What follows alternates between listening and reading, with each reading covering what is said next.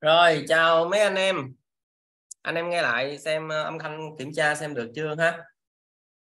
Rồi à, tại vì mình đang mở cái loa nên cái chức năng nó nó, nó khác các mấy bạn không nghe được âm thanh của nhạc nãy giờ đấy tại vì nó xuất cái âm thanh ờ, từ trong trong trong loa bluetooth của mình.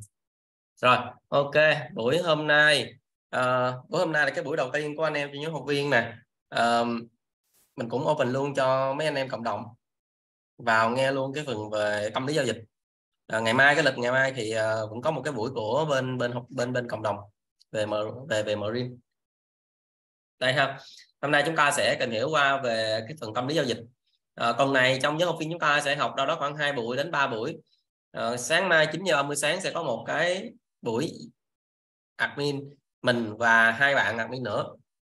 Sẽ kèm các bạn học viên mới tức là không học kiến thức gì cả mà chứ mà như là một cái buổi trò chuyện ngồi cà phê với nhau uh, những cái khó khăn những cái vấn đề mà các bạn đang gặp phải uh, những cái buổi trò chuyện như vậy nó sẽ giúp cho chúng tôi biết được là à các bạn uh, đang ở cái ngưỡng kiến thức nào đang trải qua những gì.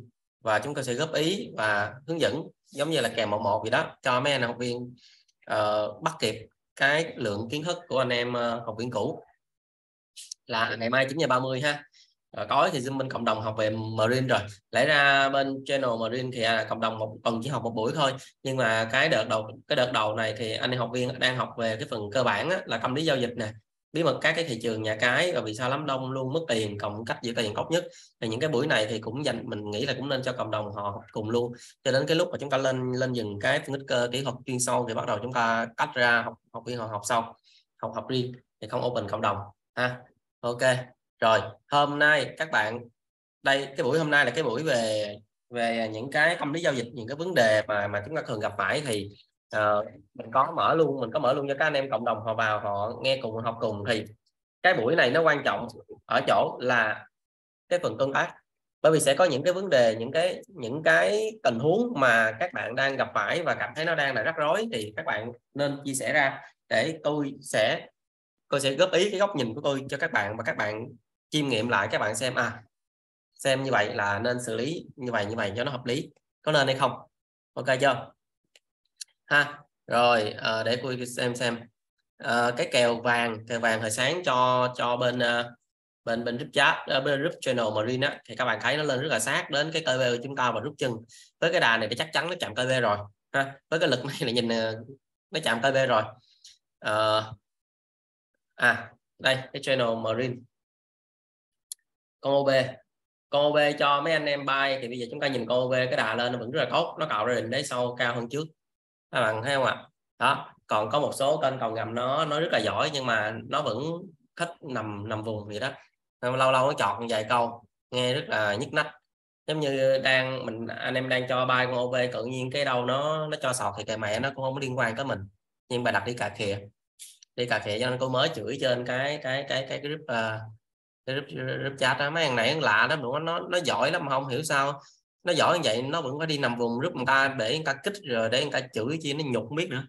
Các bạn biết không có một cái nguyên tắc mà chúng ta phải đi cà khịa khắp thiên hạ. Tôi chỉ các bạn.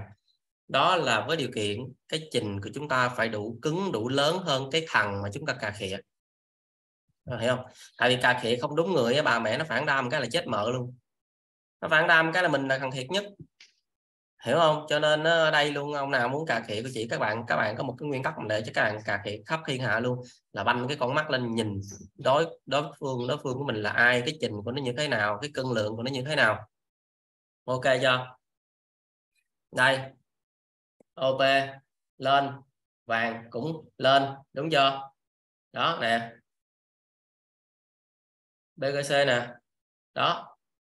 BGC thì chưa chưa nhảy nhưng mà nó có một cái nhịp lên rồi như vậy nữa đó. Mấy cái kèo cho kèo cỡ đó mà bài đặt đi đi cà khịa ta đã đã vào rút hóng kèo người ta rồi, còn đi cà khịa người ta làm chi trời? Mình bản lĩnh thì mình tự ra kèo, mình ở rút mình mình thu phí, mình làm con mẹ vậy đó, mình làm đi. Mà đã đã đã vô rút người ta lấy thông tin của người ta, đi cà khịa người ta đéo hiểu. Mấy này ngu ngu dữ, không biết nữa thì chán lắm. Vậy á chửi vậy đó mà có chửi cô, đâu phải chửi trên đầu nó đâu có chửi cười trên bàn thờ nhà nó có chửi xuống á. Má mà nó vẫn thề chết nó vẫn nằm rụt nằm vùng. Thiệt luôn nó thề chết nó vẫn nằm vùng. Nó lạ thì cái tôi là có thể tôi là một cái thằng mà tôi là thằng mà không có liêm sĩ và không có đạo đức nhưng tự ái tôi cao lắm. Má thằng nào chửi chửi tôi là tôi nghĩ à tôi nghĩ chơi với nó liền luôn à nó đúng cũng được nó giàu cũng được đéo với câu đừng cái chơi thì đi ra. Thiệt cái nết nó kỳ lắm. Ừ, tôi là như vậy á nhưng mà ngộ lắm có nhiều thằng má nó chửi nó, nó chửi nó phải chửi ông bà già mình mà nó chửi trên bàn thờ nhà mình nó chửi xuống mà vẫn nằm vùng trong rứt nó. Lạ đời không hiểu. Thua chê nha chê. Ừ. đó đâu đâu chửi vui nhà vui cửa trước khi vô zoom thôi. À, một lát chúng ta một lát tôi sẽ uh, cái đợt này mấy anh em bên channel Marine học thì tôi sẽ up cái file này bên bên cho các bạn bên channel Marine luôn. Ha, cái file giáo trình này luôn à, cái bộ này tôi đang tôi đang soạn lại và nó gồm có 3 phần. À, hôm nay chúng ta sẽ học gồm có 3 phần. À, phần đầu tiên là buổi hôm nay chúng ta sẽ tập trung học hiểu về giải phóng cho bằng được cái tâm lý và cái cảm xúc trong giao dịch. À, đối với những cái khóa học những cái nơi khác á, thì thường họ sẽ dạy các bạn về phân tích kỹ thuật xong rồi lên tâm lý giao dịch rồi lên quản lý vốn. Nhưng ở đây tôi sẽ hướng dẫn ngược lại bằng cách là tôi sẽ sắp xếp là phải giải phóng được cái tâm lý giao dịch, cái cảm xúc trong giao dịch của các bạn trước. Các bạn giải phóng được cái đó đã, xong rồi mới tính đến cái cách là giữ tiền bằng cách là quản lý vốn và các cái chiến lược đi tiền. Sau khi các bạn có được cái tâm lý, các bạn có được cái áo giáp, có được cái bản đồ, bắt đầu các bạn mới đi tìm cái vũ khí bằng cách là các bạn mới đi luyện những cái kỹ năng phân tích kỹ thuật. Ok chưa? Thì có ba cái này là trong anh em, trong anh, trong trong marine channel marine các bạn dư sức, các bạn có thể kiếm được tiền các bạn dư sức các bạn kiếm được tiền. Các bạn không cần phải đi mất phí vào những cái rút thu phí gì đó các kiểu không cần. À nói, nói về rút thu phí tôi sẵn nói luôn. À, các bạn biết không trong cái nhóm group chat học viên của chúng ta của của của của cái trading á. Đây nè mở xem luôn. Bây giờ là 900 em. Hơn 900 em. Mà hiện giờ là 2k đó. Vừa rồi vào 45 người từ ngày 20 mấy vừa rồi có trước có đến bây giờ, đến cuối tháng 45 người. Đợt là 45 người, các bạn thấy không? Thì các bạn biết trong 900 em đó có rất là nhiều admin. Họ đã và đang ở những cái kênh khác. Đã và đang ở những kênh khác. Tôi nói các bạn bây giờ đến ở ở cái, thì họ vào rất cái trading, họ cũng với tâm thế là giao lưu, học hỏi với nhau. Ông nào có kiến thức, cảm thấy cái nào hay mình học như vậy tôi cũng rất là thoải mái. Và các bạn biết họ có những cái kênh lớn họ họ làm những kênh lớn đấy. Tại vì ở cái vị thế của tôi á, là tôi làm cái trading thì tôi không thể tôi giới thiệu những cái kênh đó của họ các bạn biết không? Và họ trong group của tôi á họ cũng họ cũng ý thức được họ cũng không thể giới thiệu những cái group của họ. Nhưng có một số thằng cà khịa thì các bạn biết không? Chính trong nhớ một viên họ nói anh channel mấy mấy mấy cái tín hiệu group nó đang thu phí channel em up free. Đây. Không để bây giờ có cái cái đường đi nó kỳ mà tôi không thể làm được việc đó. Nhưng tôi sẽ giới thiệu cho một số anh em trong nhóm học viên để họ tham khảo. Má trời, mấy mấy cái group thu phí tây long, ấn độ, rồi gì nữa, cô nó má đến lào, campuchia, cô nó chỉ có là là miếng điện chưa có thôi, nhưng mà đủ lại kèo đó các ấy không cần đi tốn tiền, vô vô mấy cái group đó mua mua mua tín hiệu gì đó. Có những cái group nó nó tập hợp free hết hoàn toàn luôn free hết hoàn toàn anh em tiếng học viên đầy nhiều group lắm. Trời khi mà các bạn biết một số anh em tiếng học viên họ BM tôi cứ giật mình luôn thì ra họ là những cái ờ, họ là những admin của những cái kênh lớn, không hề kém với cái trading. Cái kênh của họ cũng khá lớn. Đầy. Mấy ông mấy ông, mấy bà không cần tốn phí. Nè, sắp tới anh em trong nhóm học viên tôi share lên tại vì cộng đồng tôi không share được, nó kỳ. Anh em những học viên thì tôi chỉ cho một số cái kênh để các bạn vào, trong đó lấy cái điều miễn phí, tham khảo cái điều miễn phí từ group ờ, uh, tay long như rô như cái quần gì đó tôi tôi thì tôi không theo cái đó. Tôi tôi, tôi chỉ có thiên hạ theo kèo thôi chứ tôi chưa có cái thói quen theo kèo thiên hạ. Máy group đó đây đó tôi sẽ giới thiệu cho một số cái để mấy bạn vô trong đó khỏi cần tốn phí. Tôi nói cái năm 2023 là một cái năm sàng lọc. Có nghe sàng lọc gì? Nó sàng lọc những cái người thực sự mà không có thực lực nó sẽ bị loại bỏ. Cho nên vẫn còn bám víu vô những cái khác là coi chừng các bạn bị bị, bị rũ bỏ bị rớt lại rủ bỏ rất lại ha. Ok chưa? Và những cái đó tôi sẽ những những cái những cái tham khảo đó tôi sẽ chỉ có giới thiệu trong nhóm anh em học viên thôi. Nó có anh em trong nhóm học viên những cái những cái buổi zoom trong nhóm học viên tôi gửi link cho các bạn. Các bạn vô các bạn tham khảo. Má free hoàn toàn không có phí mẹ hết. Và trong khi những tín hiệu đó của nó đang bán mấy trăm đô mấy có có có có những cái cái tín hiệu cái group tay long nó bán cái gì mà cả ừ, mình tôi cũng không biết như là cũng cỡ, cỡ, cỡ mấy trăm đô cả ngàn đô gì một tháng tính theo tháng quý gì đó, vậy rồi cho có nhảy bỏ tiền vô mua thực ra chúng ta biết phân tích kỹ thuật chúng ta soi kèo được rồi thì mắc gì phải đi vô những cái đó tốn tiền. Tiền đó thà để dành SL lời còn ngon hơn nữa. Nó ra còn học được kinh nghiệm. Đúng chưa? Ok. Rồi. À, à một lát chúng ta sẽ học cái phần này nha. À, tại vì hôm nay có một cái dữ liệu on trend rất là quan trọng rất là hay. À, vừa rồi bạn admin uh, Bạch bạn nói để bạn chia sẻ khoảng 20 phút đến 30 phút cho các anh em có góc nhìn về on trend cho nên ờ, để bạn đó chia sẻ sau rồi, sau sau 30 phút thì bắt đầu chúng ta học đến phần này ha. Cái bài cầm lý giao dịch hôm nay rất là quan trọng và rất là hay. Rồi ờ, cuối buổi này ờ, đối với bên channel Marine tôi sẽ cái file này cho anh em channel Marine còn bên cộng đồng muốn nhận cái file này á, dễ lắm. Các bạn copy, các bạn các bạn share cái clip này nè lên Facebook, các bạn tag tag ba người bạn, các bạn vào chụp hình gửi tôi tôi gửi file này. Ok chưa? Đó có nói rồi con nói, cho lan tỏa bằng cái cách đó. Ha rồi à, không biết bạn hát bạch lên chưa ta? Để anh, anh kiểm tra xem. Không thấy. Ủa? Ba hai tám. À lên rồi nè. Rồi để anh ép hot em nha. Em em em em xe cái màn hình em nhận định về on trend đi. Rồi đát phần sau thì anh anh anh anh nói phần của anh sau. Ha ok ok Ok, em chào thầy, chào anh em cộng đồng.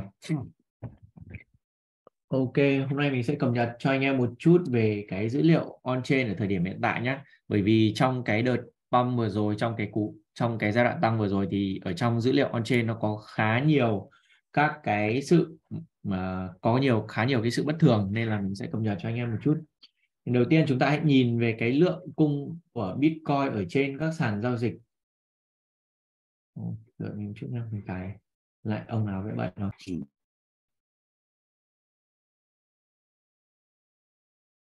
Ok, đầu tiên chúng ta nhìn một chút ở trên cái lượng cung ở trên các sàn giao dịch ở thời điểm hiện tại thì chúng ta cũng sẽ nhìn thấy rằng là chủ yếu bit lượng Bitcoin ở trên các sàn giao dịch ở thời điểm hiện tại là vẫn ở đang trong trạng thái giảm giảm khá là nhiều. Nó giảm đâu đó tương đương với cái đợt downtrend năm 2018 và nếu mà chúng ta nhìn ở trong các nhìn cái lượng cung ở trong các cái hoạt động support ấy, ở trong các cái dạng support ấy, thì chúng ta sẽ nhìn thấy một điều đó chính là ở trong cái đợt pump vừa rồi là sau cái khoảng giai đoạn ngày mùng 2 tháng 1 ở đây này thì chúng ta nhìn thấy có một cái lượng bit nó tăng nhẹ. Có nghĩa là có một cái lượng bit được đẩy lên trên sàn tăng nhẹ và rồi sau đó ở đến thời gian đến cái giai đoạn khi mà bit tăng lên đến cái khoảng cái vùng 23.000 ấy, là cái lượng cung ở trên các cái sàn giao dịch này, này là gần như nó được rút ra một cách rất là nhanh. Ở trên các cái sàn các cái hoạt động spot ấy, nó được rút ra rất là nhanh. Có nghĩa cũng cái sự kiện này nó cũng có thể nói rằng là ở thời điểm hiện tại ấy, thì là người ta đang không kỳ vọng cho cái việc mà họ có thể bán ở trong cái giai đoạn giá tăng nữa ở trong cái giai đoạn giá tăng nữa. S giải thích giúp ý nghĩa đường xanh và đường trắng. Đường trắng là giá của Bitcoin còn đường xanh là cái đường mà dữ liệu cái đường mà dữ liệu mình à, đang cung cấp ở trên hình thì anh em đang nhìn đây là lượng cung ở trên các sàn giao dịch ở trên sàn giao dịch. Đầu tiên là ở trên sàn giao dịch nhé thì ở trên sàn giao dịch thì chúng ta sẽ chia ở trong k hai hoạt động. Hoạt động sẽ có hai hoạt động là hoạt động support và các cái hoạt động giao ngay ấy, support và hoạt động phái sinh. Thì các cái hoạt động support thì chủ yếu là nó chỉ có trong cái dạng là support thì anh em chỉ có đánh theo một chiều là chúng ta chỉ có thể đánh lên. Có nghĩa là chúng ta chỉ có thể bán bán theo cái chiều tăng của giá thôi. Còn ở trong các cái hoạt động phái sinh ấy, thì thường là chúng ta sẽ có thể đánh được cả theo hai chiều. Có nghĩa là cả bán bán để có lãi hoặc là chúng ta uh, sọt để lấy thêm lượng bitcoin hoặc là lấy thêm lượng tiền về. Thì cái uh, cái việc mà sử dụng trong các cái hoạt động mà đánh hedging hay là low profit này thì chủ yếu ở trong team uh, học viên thì sẽ được nói sâu hơn. Đó còn về ở trong các cái hoạt động phái sinh này thì chúng ta sẽ nhìn thấy một điều đó chính là ở trong những cái giai đoạn mà giá nó giảm nhé mình lấy ví dụ mình lấy ví dụ như trong cái giai đoạn mà giá chuẩn bị giảm nhất là trong cái sự kiện trong cái giai đoạn mà tháng 10 tháng 11 năm 2022 ấy trước cái sự kiện của sàn FTX nó xảy ra ấy, thì chúng ta sẽ nhìn thấy rằng là cái lượng Bitcoin ở trong các cái hoạt động phái sinh ấy, nó có tăng nhẹ lên một chút và sau đó thì sau cái cú sập đấy thì cái lượng Bitcoin này nó giảm cái lượng Bitcoin này nó giảm.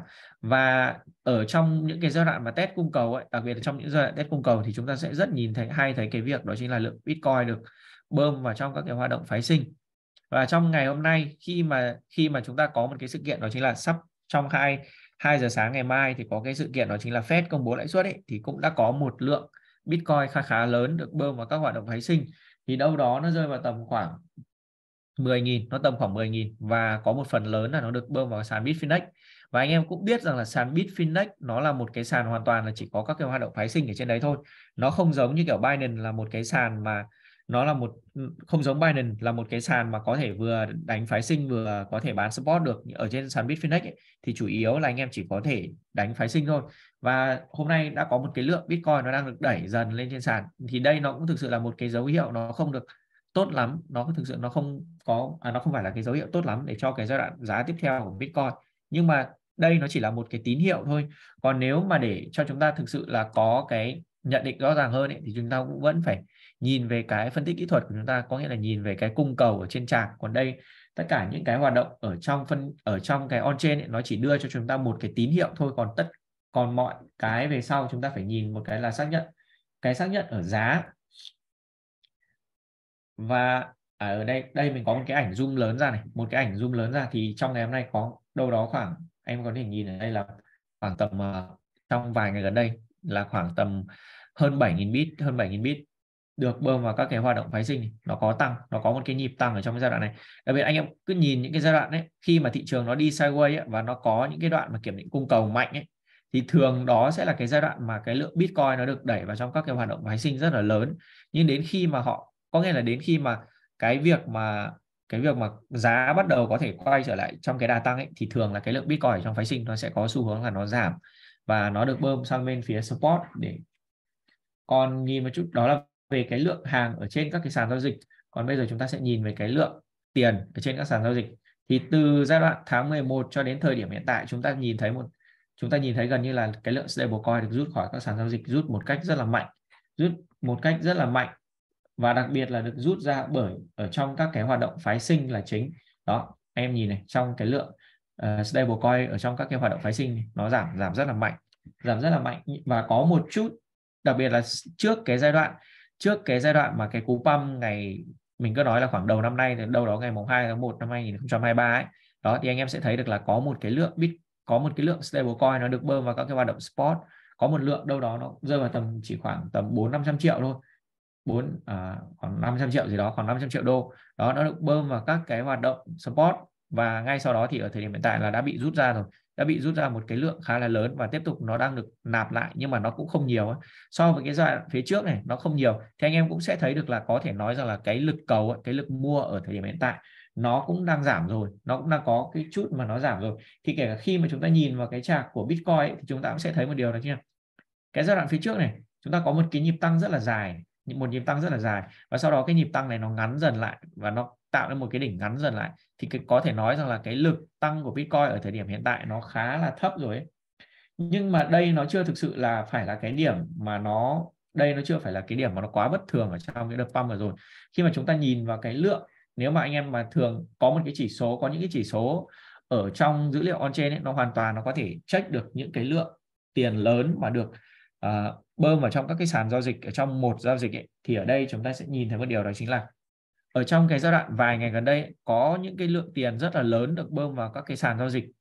Đây, bơm vào rất là lớn ở trong các cái sàn giao dịch khiến cho cái chỉ số này nó tăng rất, nó tăng lên rất là cao này. Nhưng mà đến, nếu mà chúng ta check lại, chúng ta check kỹ lại thì chúng ta sẽ thấy chủ yếu nó lại được bơm vào các cái hoạt động phái sinh, chứ không phải là được bơm vào support.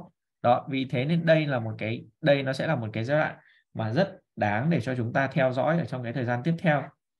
Nhưng mà điểm bất thường nhất ở trong cái giai đoạn hiện tại ấy, đó là chúng ta sẽ nhìn thấy rằng là trước cái đợt pump vừa rồi đó khoảng cái ngày mùng 3 tháng 1 chúng ta sẽ nhìn thấy có một cái lượng BUSD nhé anh em có thể nhìn đây này Binance USD này đó là BUSD nó được bơm vào các cái sàn giao dịch rất là mạnh. Nhưng mà chủ yếu rằng là trong các tất cả các sàn giao dịch anh em có nhìn nhìn ở đây nhé nhìn ở đây là cái lượng cung của BUSD ở trên các sàn giao dịch nó rơi vào tầm khoảng uh, ở giai đoạn hiện tại thì chúng ta sẽ nhìn ở giai đoạn hiện tại nó đâu đó nó khoảng tầm 14,25 tỷ đô thì khi mà chúng ta check ở trong cái dữ liệu ở sàn Binance ấy, thì chúng ta sẽ thấy rằng là phần lớn cái cái lượng BUSD này nó ở trên sàn Binance chứ nó không có nghĩa nó chủ yếu nó ở trên sàn Binance này. Và khi mà chúng ta check sâu hơn này check ở trong các cái hoạt động support thì anh em sẽ thấy rõ rệt được một điều đó chính là có một cái lượng tiền một lượng BUSD rất là lớn được bơm vào sàn Binance. Có nghĩa là đâu đó được gần ra cái giai đoạn mà cuối tháng 12 năm cuối tháng 12 năm 2022 cái lượng BUSD ở trên sàn Binance gần như là được rút hết ra. Cái lượng đó nó còn rất là thấp và đột ngột được bơm vào một lượng đâu đó khoảng 200 triệu và sau đó thì chúng ta có một cái đợt pump rất là mạnh. Sau đó chúng ta có một cái đợt pump rất là mạnh. Còn nếu mà check ở bên phái sinh ấy, thì chúng ta cũng sẽ nhìn thấy rằng là nó nó tương đương tương đương sau cái đợt đó nó được cùng đồng thời nó được bơm vào sàn Binance trong cả các hai bên hoạt động. Đó là hoạt động phái sinh và hoạt động support. Và khi mà nhìn một nhìn sâu hơn này chúng ta nhìn vào trong cái hoạt động nhìn vào cái lượng tiền dự trữ của Binance nhìn vào cái lượng lượng tiền dự trữ của Binance nhé đây là tiền hoàn toàn của Binance chứ không bị trộn lẫn bất cứ cái tiền nào của uh, người dùng cả. Thì anh em có thể nhìn thấy ở th thời điểm hiện tại này phần lớn cái lượng BUSD ở trong thị trường là của sàn Binance là của sàn Binance. Đâu đó thì chúng ta sẽ có khoảng tầm anh em có thể vừa check nhé vừa rồi là đâu đó chúng ta có khoảng 14,25 tỷ đô là của sàn Binance. Thì cái dữ liệu này là mình vừa mới cập nhật trong ngày hôm qua. Thì chúng ta sẽ nhìn thấy rằng là đâu đó gần 14 tỷ khoảng tầm à, khoảng tầm 13 13 tỷ 13,8 tỷ 13,8 tỷ đô. Lượng BUSD này là thuộc sở hữu của sàn Binance chứ không phải là sở hữu của người dùng nhé. Thì anh em hoàn toàn có thể thấy rằng là đây chúng ta có một cái sự bất thường ở trong cái có một cái sự bất thường rất là lớn ở trong cái coupon vừa rồi. À, anh em đợi một chút mình có cập nhật thêm một cái ảnh nữa. Và chúng ta chỉ nhìn vào cái lượng uh, cung stablecoin đây anh có thể nhìn vào cái lượng uh, cái tổng cung của BUSD ở thời điểm hiện tại nhé chúng ta nhìn ở đây. Anh em cái dữ liệu này là mình lấy ở trên TradingView anh em hoàn toàn có thể nhập cái nhập cái à, dòng mà BUSD ship trừ này market cap ra này. Thì anh em hoàn toàn có thể check được cái lượng tổng cung của BUSD ở thời điểm hiện tại. Thì em sẽ thấy một điều đó là trong ngày hôm nay cái dữ liệu này mình vừa mới lấy khoảng lúc 7 giờ sau đó là khoảng 15,72 tỷ đô là BUSD có cái lượng BUSD được tổng cung trên thị trường. Và ở thời điểm từ cái giai đoạn tháng 11 năm 2022 nó cũng tương tự như các stablecoin khác là nó được rút ra khỏi thị trường rất là nhiều. Được rút ra khỏi thị trường rất là nhiều. Vì thế nên cái sự kiện, cái sự kiện bump này này, nó cực kỳ là nó bất thường bởi vì những cái khối lượng giao dịch nó được khớp nhé nó được khớp những cái lệnh mà được khớp bởi những cái những cái gọi là phe mua, phe bán hung hãn ấy. Ở đây mình có lấy ờ, mình có lấy một cái chart mà được dữ liệu này, nó được bên Coinalyze nó lấy trực tiếp từ bên các cái sàn giao dịch nhé thì anh em có thể nhìn này cái phần tổng cái lượng tổng của các cái lệnh được khớp ở trên các sàn giao dịch. Phần lớn chủ yếu nếu mà lấy tổng ra thì là các cái lượng bán. Và đặc biệt là cái phần lượng bán đó là được bán từ Bitcoin ra thành USDT nó giảm rất là mạnh. Nhưng mà chúng ta sẽ thấy rằng là cái lượng mà được khớp bởi cái cặp mà BTC BUSD này nó có một cái sự kiện nó ngược lại hoàn toàn luôn. Có nghĩa là phần lớn cái giai đoạn hiện tại cái vùng giá mà được đẩy lên ấy, là đẩy lên ở bởi cái cặp mà BTC USD có, cũng có thể một phần là do cái sự kiện, cái cái sự kiện này nó được thực hiện. Bởi vì là khi mà Binance nó đang free, nó vẫn tiếp tục, có nghĩa là zero fee cái phần tiền của cái cặp BTC USD khiến cho cái cặp này thanh khoản của nó nó đẩy lên rất là mạnh, nó đẩy lên rất là mạnh. Nhưng mà chúng ta vẫn nhìn thấy có cái sự kiện nó bất thường ở trong này, đúng không ạ? Nhưng ở đây mình cũng phải nói rằng là đây là cái sự kiện bất thường mà chúng ta nhìn thấy để cho chúng ta chuẩn bị cho những cái giai đoạn sắp tới nó có thể nó sẽ có những cái biến động mạnh nó xảy ra. Còn cái giai đoạn sắp tới, còn giá nó tăng như thế nào hay nó giảm như thế nào thì chúng ta cũng sẽ tập trung vào để chúng ta đánh theo cái chiều đó để để tạo ra lợi nhuận. Chứ không phải là chúng ta cứ thấy nó là cái vấn đề bất thường thì chúng ta lên án, quá lên án cái việc này, đúng không ạ? Anh em là trader, chúng ta là những cái người mà chúng ta tạo ra lợi nhuận theo cái theo cái à, xu hướng của giá. Nên là cho dù nó có bất thường như thế nào đi chăng nữa thì chúng ta cũng phải tận dụng cái cơ hội để chúng ta tạo ra lợi nhuận cho bản thân đó. Và ở thời điểm hiện tại, nếu mà còn có một cái sự kiện nữa, có nghĩa là một cái dấu hiệu nữa để cho có một cái, có thể rằng là sẽ có một cái cú sập mạnh sau cái giai đoạn này, đó chính là cái lượng, khối lượng hợp đồng mở ở trên sàn OKEX. Ở đây mình cũng có lấy một cái ảnh, có nghĩa là anh em có thể nhìn thấy rằng là khi mà cái khối lượng hợp đồng mở ở trên sàn OKEX này, cứ mỗi một lần nó tăng tăng mạnh và nó đạt đỉnh, đạt những cái đỉnh như thế này. Đầu tiên là chúng ta sẽ nhìn về cái giai đoạn mà khoảng tháng 4 năm 2021 cái giai đoạn này giá nó là đỉnh và cái chỉ số này nó là đỉnh đâu đó khoảng tầm 800 triệu đô. Ngay sau đó chúng ta có một cái cú điều chỉnh rất là mạnh từ 64.000 đô cho xuống 64.000 đô cho xuống tận dưới khoảng vùng à, nếu nhớ vùng này đâu đó khoảng 34.000 34.000 trong tháng 5 và rồi tương tự như, tương tự đó là khá sát với cái đỉnh mà Bitcoin đạt 69.000 ấy. Đó là cuối năm 2021 thì giai đoạn đó Bitcoin cũng sập từ 69.000 xuống tận 34.000 sập rất là nhanh xuống tận 34.000 và trước cái trước cái cú sập của ờ, Luna anh em cũng sẽ nhìn thấy rằng là cái lượng cái chỉ số này nó à, cái lượng khối lượng hợp đồng mở ở trên sàn OKEx nó cũng được mở nó cũng được tăng lên rất là mạnh. Nhưng về cơ bản rằng là cái khi mà chúng ta nhìn thấy cái dữ kiện này thường thì sau đó nó trễ mất khoảng nó sẽ trễ mất khoảng tầm vài ngày chứ nó không nó không sập ngay thường nó sẽ không sập ngay bởi vì đây nó là cái dữ liệu mà mình lấy ở trên khung ngày. Đó và tương tự như thế trước cái sự sụp đổ của sàn FTX chúng ta cũng nhìn thấy có một cái sự kiện tương tự. Anh em nếu mà uh, có theo dõi Ricky thì trong cái giai đoạn tháng 10 tháng 11 ạ, là cái buổi mình có nhớ một cái buổi zoom rất gần ngày hôm đó mình cũng có cập nhật cái dữ liệu này và mình cũng có nói rằng là sắp tới có thể sẽ có những cái giai đoạn mà biến động rất là mạnh khi mà cái dữ liệu này nó được đẩy lên cao như thế này. Đó và trong ngày hôm trong ngày hôm qua ngày hôm kia khoảng tầm 2 1 đến 2 ngày trước thì mình cũng có được cập nhật mình cũng có cập nhật cái dữ liệu này rằng là nó đã được đẩy lên rất là cao nên là nếu mà cái là cái lịch sử này nó lặp lại ấy, thì hoàn toàn là Bitcoin nó sẽ sập rất là mạnh ở trong cái giai đoạn tiếp theo và kèm theo cái việc nữa đó chính là uh, ở trên crypto ở CryptoQuan người ta cũng có cung cấp cho chúng ta một cái dữ liệu mà để cho đánh giá cái sự hoạt động của đánh giá cái sự hoạt động của các cái nhóm cá voi ở trên các cái sàn giao dịch ấy thì ở đây mình có lấy một cái đoạn ngắn một mình có lấy một cái đoạn ngắn là cái ở cái giai đoạn gần đây ấy, thì chúng ta sẽ thấy rằng là cứ khi mà cái chỉ số này nó được đẩy lên khoảng tầm cái vùng 0.6 nhé thì sau đó nó sẽ là một cái đoạn giá nó biến động rất là mạnh. Thường là một hoặc hai ngày sau đó giá nó sẽ biến động rất là mạnh. Anh em có thể nhìn thấy là uh, ví dụ mình lấy ví dụ như cái giai đoạn mà khoảng trong tháng 10 năm 2022 ấy đó thì khi mà giá nó khi cái chỉ số này nó tăng lên 0.6 này sau đó giá nó tăng lên một chút này đó, nó tăng sau ngày hôm đó một ngày nó tăng lên một chút này. Rồi nó tiếp tục nó tăng lên 0.6 một lần nữa thì là cái giai đoạn mà Bitcoin tăng từ 19.000 lên trên 20.000 đấy. Đó và đến cái giai đoạn mà đến cái giai đoạn mà trước cái sau cái sự sau cái sự kiện mà FTX và binance nó sẽ có nghĩa là sau cái sự kiện mà Samsung với CZ cứ uh, tweet qua tweet lại trên Twitter ấy, thì chúng ta thấy là cái chỉ số này nó tăng lên tận đến 0,75 và sau đó vài ngày thì nó sập bit nó sập rất là mạnh. Và đến ngày trong ngày hôm nay cái chỉ số này nó cũng hiện tại nó đang tăng lên khoảng tầm 0,61 có nghĩa rằng là trong 1 đến 2 ngày tới thì cái việc mà Bitcoin nó biến sẽ có cái sự kiện mà Bitcoin nó biến động rất là mạnh. Và kèm theo cái việc là chúng ta sẽ thấy rằng là trong hôm nay à, trong đêm nay trong đêm uh, trong dạng sáng ngày thứ năm ấy khoảng 2 giờ dạng sáng ngày thứ năm thì chúng ta sẽ có cái việc là Fed công bố lãi suất. Và trong ngày thứ sáu chúng ta sẽ có cái tin đó là cái tin à, về cái tin non farm. Đó. Thứ sáu ngày đầu tiên của tháng đúng không? thì thường sẽ có tin non farm. Thì trong hai ngày sắp tới chúng ta sẽ có những cái tin tức rất là quan trọng. Vì thế nên anh em cũng phải chú ý đặc biệt là đặc biệt là những anh em nào đang nắm giữ các cái vị thế support ấy anh em còn đang nắm giữ hàng support ấy, thì anh em nên chú ý trong vài ngày tới khi mà cái biến động giá mạnh nó xảy ra.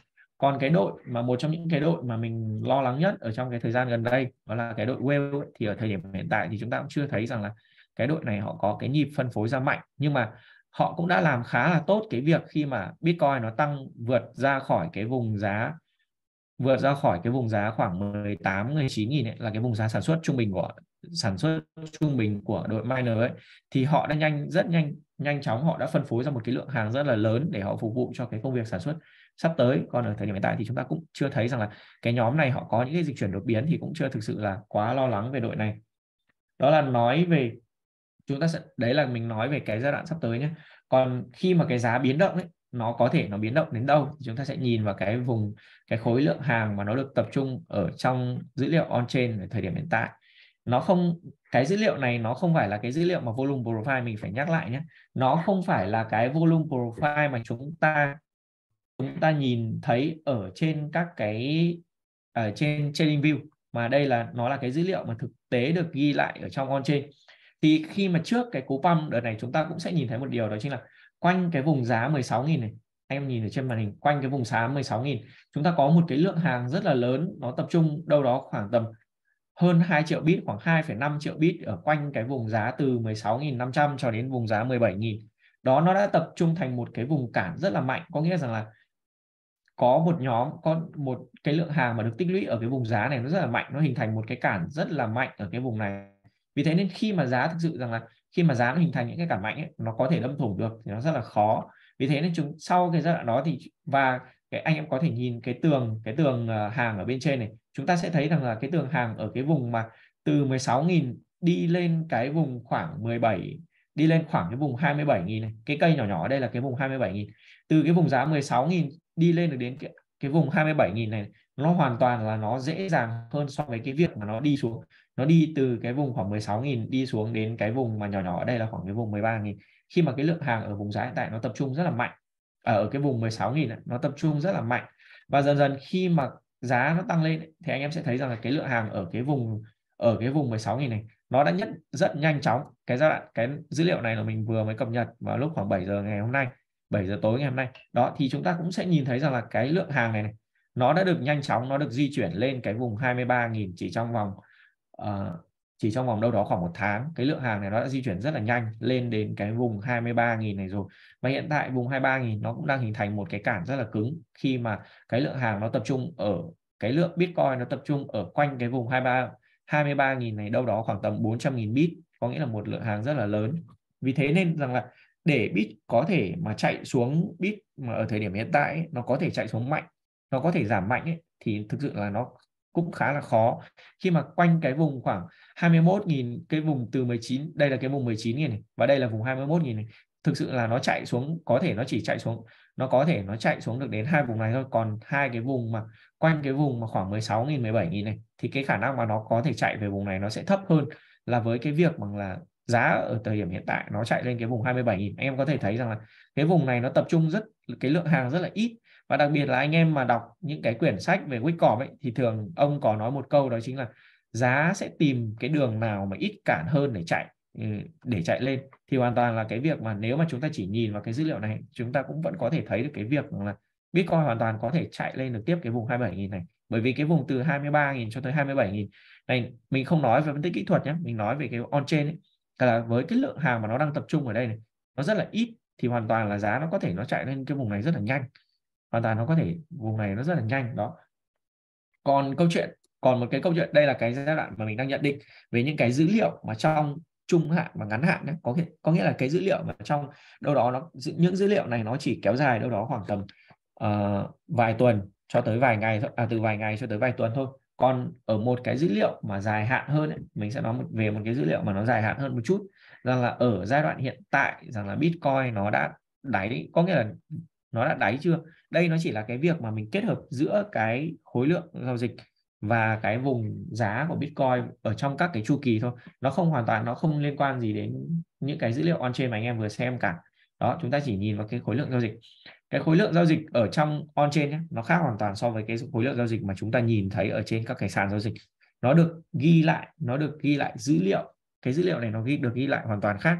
Và em sẽ nhìn về cái vùng cái vùng mà đáy của cái chu kỳ mà 2016 cho đến à, từ 20 từ giai đoạn mà năm 2012 cho đến 2016 này thì chúng ta sẽ nhìn thấy có một cái giai đoạn là sau khi mà nó đạt đỉnh sau cái giai đoạn mà đạt đỉnh năm 2014 2013 2014 này thì chúng ta có một cái giai đoạn đáy năm 2014 và 2015 thì cái giai đoạn anh em có thể nhìn thấy rằng là Bitcoin khi mà cái giai đoạn trước đáy ấy, thì nó có một cái giai đoạn mà khối lượng giao dịch ở trong on chain nó rất là thấp và đến cái giai đoạn mà thực sự là đáy rồi ấy, đặc biệt là cái giai đoạn mà ở trong Wickoff gọi là cái cái giai đoạn của SOS ấy, cái size of strength ấy, đó là cái giai đoạn mà khối lượng giao dịch nó tăng nó bắt đầu nó có cái xu hướng là nó tăng lên cái giai đoạn mà nó bứt phá ra khỏi đáy này.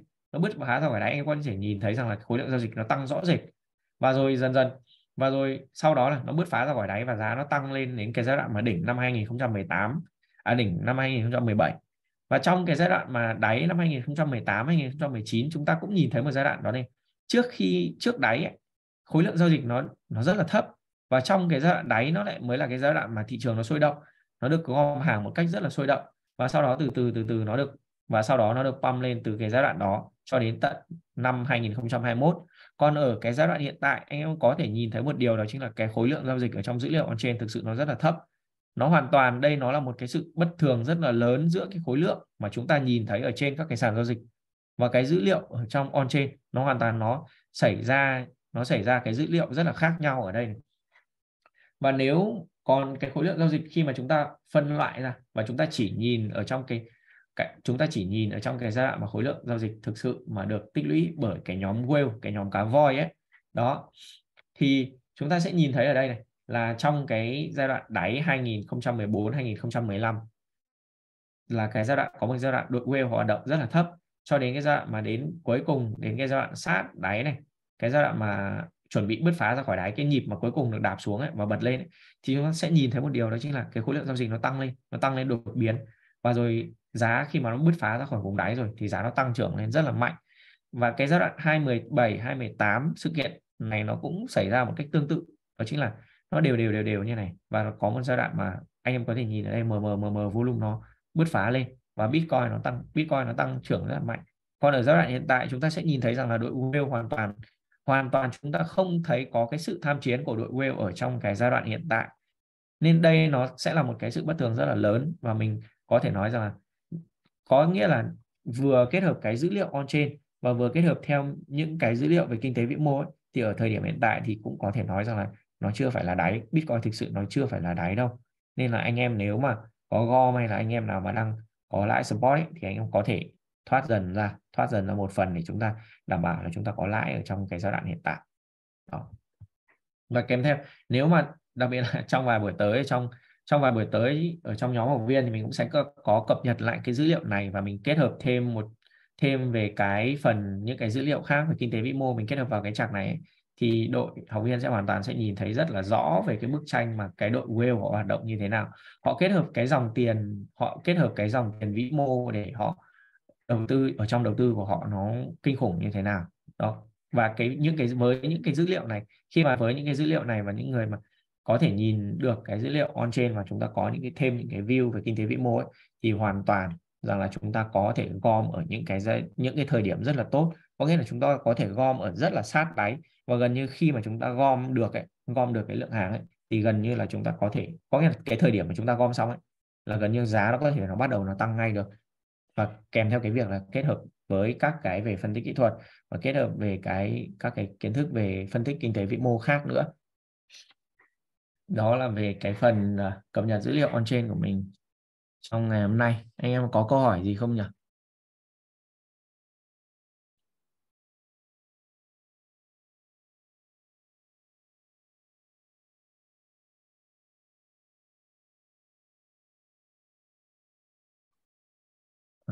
Ok, để mình đọc lại câu hỏi.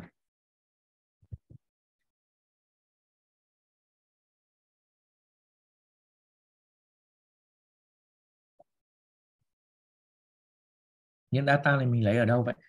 Những cái dữ liệu này chủ yếu mình lấy ở trên CryptoQuant và Glassnode có một chút những cái dữ liệu liên quan đến phái sinh thì mình có thể sử dụng cái dữ liệu ở bên Coinalyze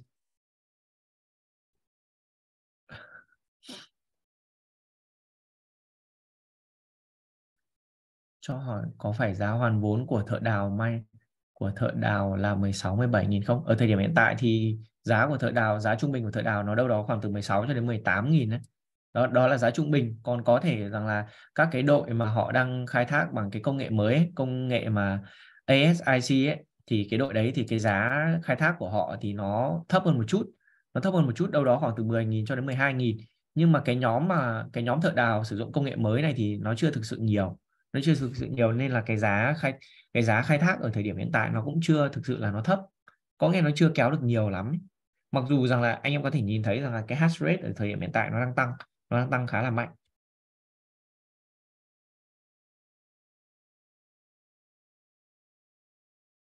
Liệu theo khung quýt BTC có đang chạy sóng hồi AR không? Cái, thật ra cái kẻ pha cái cái kẻ pha và các cái giai đoạn ở trong cỏ mình không thực sự mình nhớ, mình chỉ có nhớ được mỗi cái giai đoạn mà giá nó bắt đầu nó bứt phá ra khỏi đáy, giai đoạn quan trọng nhất là giá bứt phá ra khỏi đáy là giai đoạn LOS thôi. Hoặc là cái giai đoạn mà nó dấu hiệu của cái việc suy yếu là SOV kép ấy. Đó, cái giai đoạn sign of weakness. Đó, mình chỉ nhớ được hai giai đoạn đấy thôi.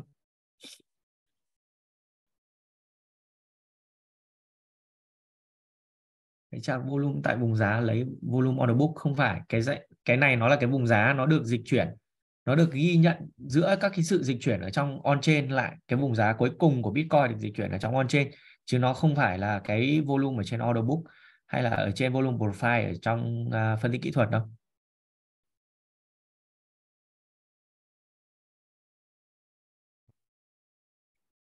Những whale gom hàng nhìn thấy ở vùng ở đáy thấy vôn tàn tàn mà sao?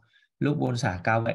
Chính xác là ở cái giai đoạn ở cái giai đoạn đỉnh ấy chúng ta hoàn toàn có thể nhìn thấy cái việc là whale họ hoạt động rất là mạnh. Họ whale họ hoạt động rất là mạnh ở trong những cái giai đoạn ở đỉnh. Có nghĩa đó là cái giai đoạn mà họ hoàn toàn họ còn thể tạo ra lợi nhuận ấy. Thì cái lượng hàng mà họ chuyển ra ấy, nó sẽ cái lượng hàng mà họ dịch chuyển ấy nó rất là lớn. Chúng ta hoàn toàn có thể nhìn thấy cái việc đấy. Em có thể thấy rằng là trong những cái giai đoạn ở phía trước ấy ở những cái giai đoạn mà những cái chu kỳ trước ấy cái lượng bitcoin thì thực sự ở cái cung lưu thông ở thời điểm đó nó cũng không nhiều thì cái khối lượng giao dịch ở của whale này nó nhỏ nhỏ như này nhưng mà ở những cái giai đoạn đỉnh nó hoàn toàn nó có thể đạt đâu đó khoảng tầm 4 triệu 4 triệu và nó không nhiều nhưng mà nó lại không nhiều ấy. còn ở cái giai đoạn mà ở giai đoạn hiện tại khi mà lượng cung của bitcoin nó đâu đó nó khoảng được 19 triệu bit rồi ấy, thì chúng ta sẽ thấy rằng là cái lượng khối lượng hàng dịch chuyển đến từ đội whale khi mà trong cái giai đoạn mà đỉnh từ 69.000 cho xuống lên khoảng 48.000 ấy thì chúng ta thấy nó rất nó nổi bật nó rất là rõ đâu đó nó khoảng tầm 6 triệu bit trong một ngày. Cái lượng bit nó được di chuyển bởi nhóm này rất là lớn.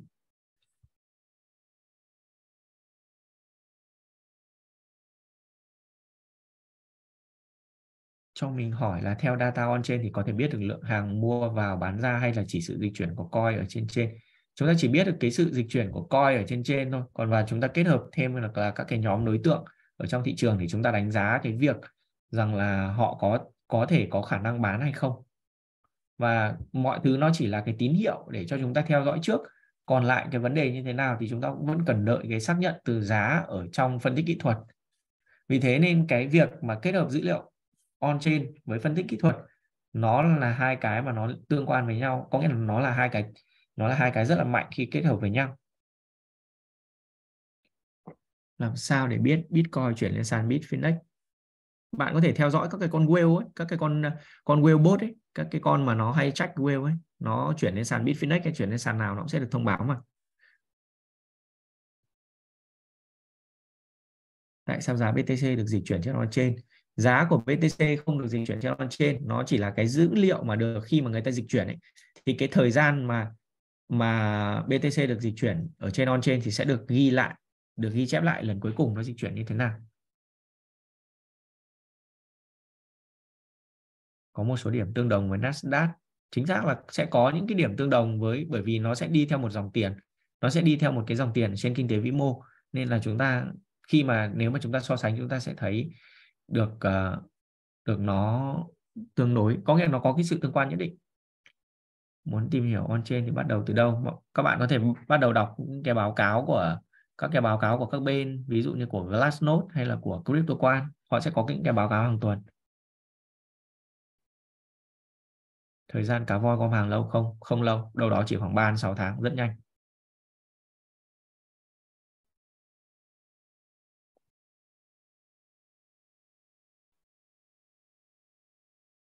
Slide này có xe không? Anh em có thể xem lại clip nếu mà thầy up lại trong ngày mai này. còn cái slide này thì nó cũng thực sự là mình cũng chỉ tổng hợp lại các cái ảnh. Nếu mà anh em thích thì mình sẽ gửi thầy để xe lên xe lên uh, xây lên channel của Rick cho anh em.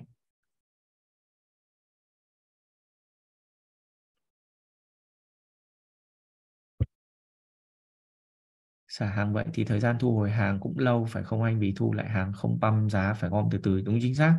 Đội whale họ gom rất họ họ gom rất là lâu trong một thời gian rất là dài. Khi mà giá Bitcoin đạt đỉnh 69.000 họ bán ra xong rồi họ đã bắt đầu họ thu gom lại rồi.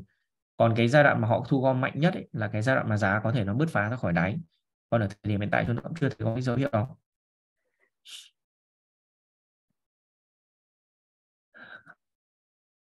sau thời gian cáo voi gom xong thì khoảng bao lâu thì băm thường là giai đoạn nó bứt phá ra khỏi đáy là nó bắt đầu nó băm rồi.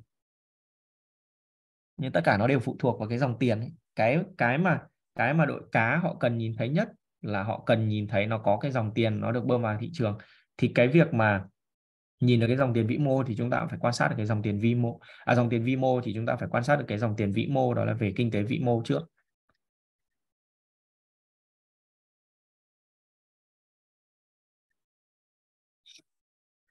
Ok cái câu hỏi hiện tại thì mình thấy nó cũng không không có nhiều giá trị lắm. Ừ, chuyển lại hot cho thầy nhé.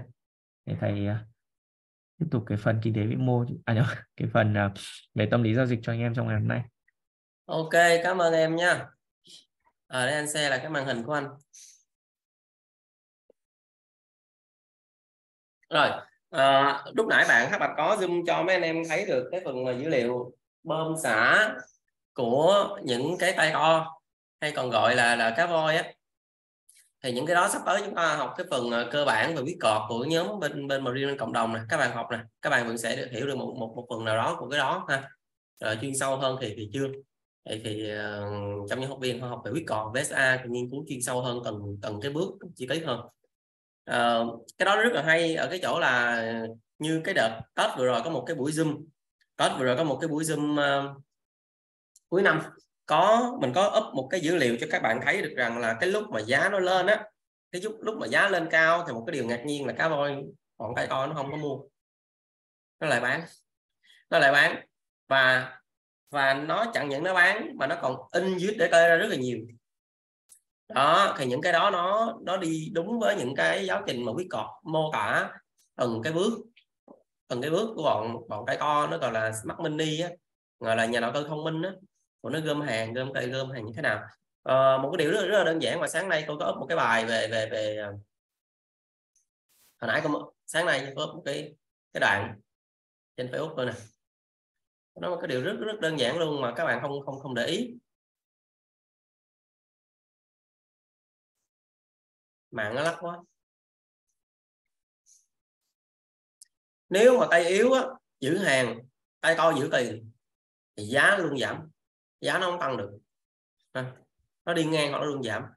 Còn nếu mà khi nào mà tay yếu giữ tiền tay to nó giữ hàng đó thì giá sẽ luôn tăng. Đó thì cô có cái bài này ở đây, ai giải thích? Cả nhóm học viên luôn nha. Các bạn giải thích được những cái phần này, comment dưới đây cho tôi. Tôi sẽ, bây giờ còn mấy bình bình nước, mấy cái bình giữ nhiệt đủ loại quà này tặng cho các bạn, ha. Ok, bây giờ chúng ta sẽ vào cái phần nội dung hôm nay chúng ta học. Các bạn thấy con vàng thích không? Vàng lên gần TV nè rất đẹp không? Đó, ai mà canh chặt xuống cái đoạn này thấy rút chân là chốt là ngon lành họ là bay xuống đây mua lại. Hồi nãy nó xuống đây cô kêu mấy anh em bên channel marine mới kêu nó bay lại. Vàng quay đầu bay lại nè đó. Rớt này cô kêu bay lại nè. Cái này gọi là thực chiến thực chiến có nghĩa là làm sao các bạn phải cảm nhận chạc các bạn phải bám rất là sát rất là tốt. Còn cái việc mà nhận định giá lên hay xuống đó, nó rất là bình thường. À, nó rất rất là bình thường.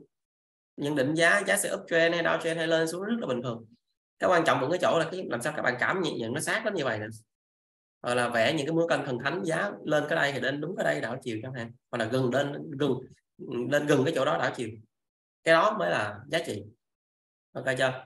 Rồi còn mấy ông nội mà bên channel của nó mấy ông uh, mấy cái clip gì đó bà mẹ của nó của nó hay số số phần trăm á. Thì cô chỉ các bạn cà khịa nó nè. Như thằng mà nãy trong group chat ờ, cộng đồng đó, đó nó, nó có cái group riêng thì nó cũng số phần trăm á. Có phải số phần trăm làm mẹ gì? Còn thằng đánh 10 đô với thằng đánh 10 ngàn đô nó khác biệt nhau lắm á. Muốn số phần trăm là phải số như vậy nè. Tôi chụp cái hình liền luôn cho các bạn nè. Muốn số phần trăm phải số như đừng có số muốn, muốn số lệnh phải số như vậy nè đừng có số phần trăm. Số phần trăm nó không thể hiện lên được cái năng lực nó không thể hiện lên được đủ gan hay không. Nó ngon ngon bỏ ra khoảng ngàn hai ngàn vô á. Ngon bỏ ra khoảng ngàn hai ngàn vô lệnh xong rồi xô cái lệnh mà lời lỗ. Số cái đó số cái đó nó ngon. Cũng số phần trăm ha. Đến 5 đô 10 đô cũng số phần trăm được mà. Cái đó thằng nào cũng làm được đó mới gọi anh chat cái nó còn lắc đó. bạn lắc chưa lên hình được đó. cô đi cái lệnh có ngàn sáu à. Cô vô con OP nè cô vô con OP cô đi lệnh có ngàn sáu à. Mà có ít 10 10 13 15 đó mấy ông mấy ông muốn xô lệnh này mấy ông xô cái cái lệnh mà mấy ông vô tiền đó, đó vậy nó mới mới hay xô mấy phần trăm làm gì? Ha rồi bây giờ chúng ta vào cái phần tâm lý giao dịch ha. Thì sẽ có 3 phần thì hôm nay chắc chỉ có đi được phần 1 thôi rồi à, ngày mai ngày mốt thì học à, phần phần 2 phần 3 sau, ha. Thì cái phần ngày hôm nay, cái phần tâm lý giao dịch ngày hôm nay nó cũng nhẹ nhàng, dễ. Nó cũng chả phải gọi là học gì đâu, mà là giải phóng tâm lý mà. Thì nó sẽ như một cái buổi trò chuyện, anh em mình ngồi nói chuyện chơi với nhau thôi, chém gió chơi với nhau thôi. Thì học như vậy các bạn sẽ thấy rất là nhẹ nhàng và nó vô đầu và nó không thể nào mà quên được, ha. Đó. Rồi, trước khi vào phần tâm lý giao dịch thì sẽ có vài câu chuyện giải trí cho anh em Ờ, uh, giải stress ha. Đầu tiên cũng cho các bạn uh, đọc một số câu chuyện. Ông Charlie Munger này chắc nhiều người biết. Ông này được uh, ông này là một trước đây là một trợ lý đắc lực của Warren Buffett và sau này ông này là đối tác luôn. Là là đối tác luôn. Ông Charlie Munger là một chuyên gia đầu tư của Mỹ à, và cũng là đối tác chiến lược thân thiết ăn ý nhất của Warren Buffett. Có người hỏi Munger là làm sao để tìm được một người bạn ưu tú? Ông Munger ông mới đáp là trước tiên bạn phải trở thành một người ưu tú đã. Bởi lẽ những người giỏi giang tuyệt đối không phải là kẻ ngốc mà nó đi làm quen với bạn nó chơi với bạn. À, các bạn hiểu không? Vậy cái câu chuyện này nó cho chúng ta biết là gì?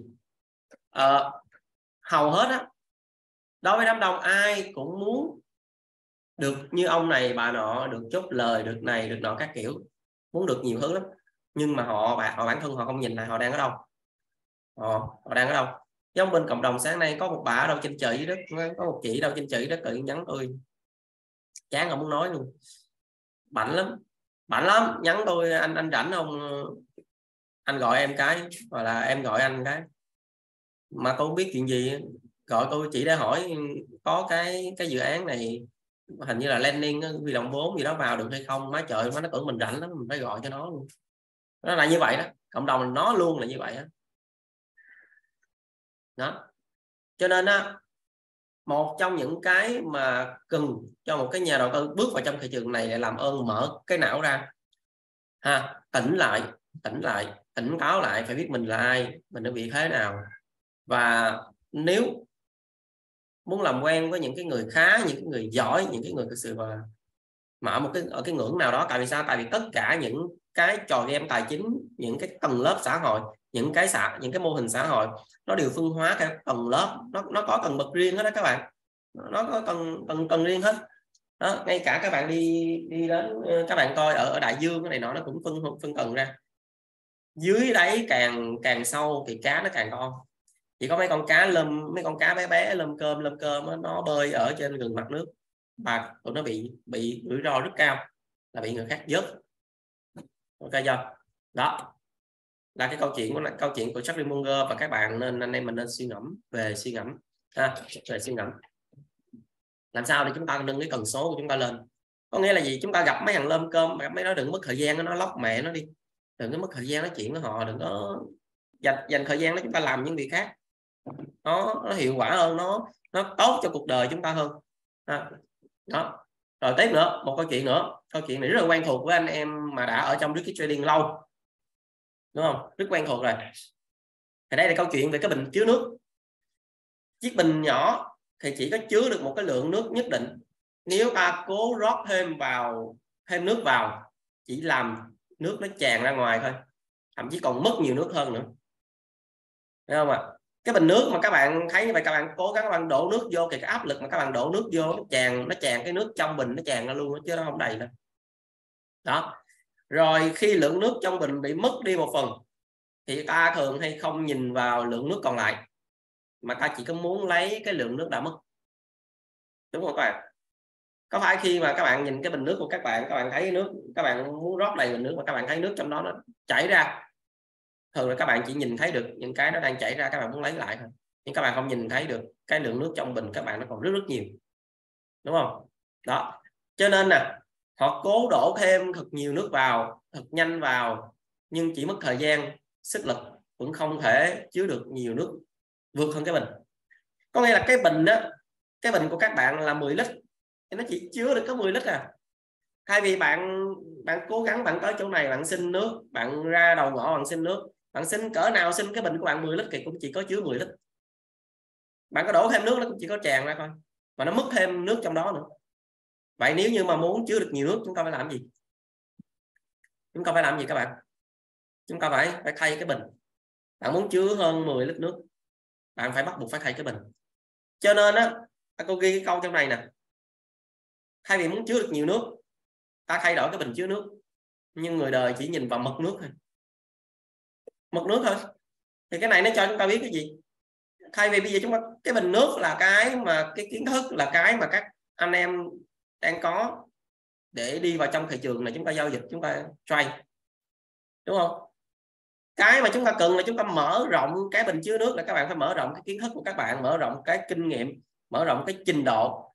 Trong khi đám đông thì cầm cái bình của họ họ qua rút này họ hứng kèo, qua rút kia thì hứng kèo. Đúng không? Qua rút nọ xin một số nước nó xin hoài xin hoài, nó xin từ mùa này, nó xin từ mùa nọ, nó xin nó vô vô rút vip nó vô kẹo vô kèo vip từ năm 2017 19 nó vô nó bây giờ, mà tài khoản nó bây giờ đéo khá nổi. Có sai chỗ nào? Tôi nói có sai nào? Có thì tôi xin lỗi nha. Các bạn nào nói, anh nói sai rồi. Em để em vô mấy group vip từ 2017 2019 đến giờ. Em, tài khoản em khá lắm rồi, anh ơi. Anh nói gì không có đúng. Rồi vậy tôi xin lỗi các bạn. Tôi xin lỗi các bạn. Ừ. Ừ đó về gác chân lên chán ngẫm lại. Nếu nước nó là tiền đó nếu các bạn muốn gia tăng tài sản gia tăng tiền đó, nó không phải là cái chỗ các bạn cầm cái bình chứa nước các bạn đi các bạn đi đi đi hướng nước từ group này group khác đâu. Các bạn thay đổi cái bình đi. Ha? Thay đổi cái bình đi là tự nhiên các bạn hướng nhiều nước à. Ok một câu chuyện. Tiếp. Câu chuyện nữa anh em bữa nay chúng ta ngồi giao lưu, giải phóng tâm lý, giao dịch với nhau thôi trade chết gì giờ này. Đằng nào con OP trả lên TB hàng lát đếm tiền. Các bạn biết nếu mà OP lên đây, các bạn biết tôi lượm bao nhiêu tiền không? Tôi lượm thêm ngàn mấy nữa. Bữa giờ là cứ rút từ 500 đến ngàn mỗi ngày, rút trên trên rút nó có có bên trên là bờ đi đó.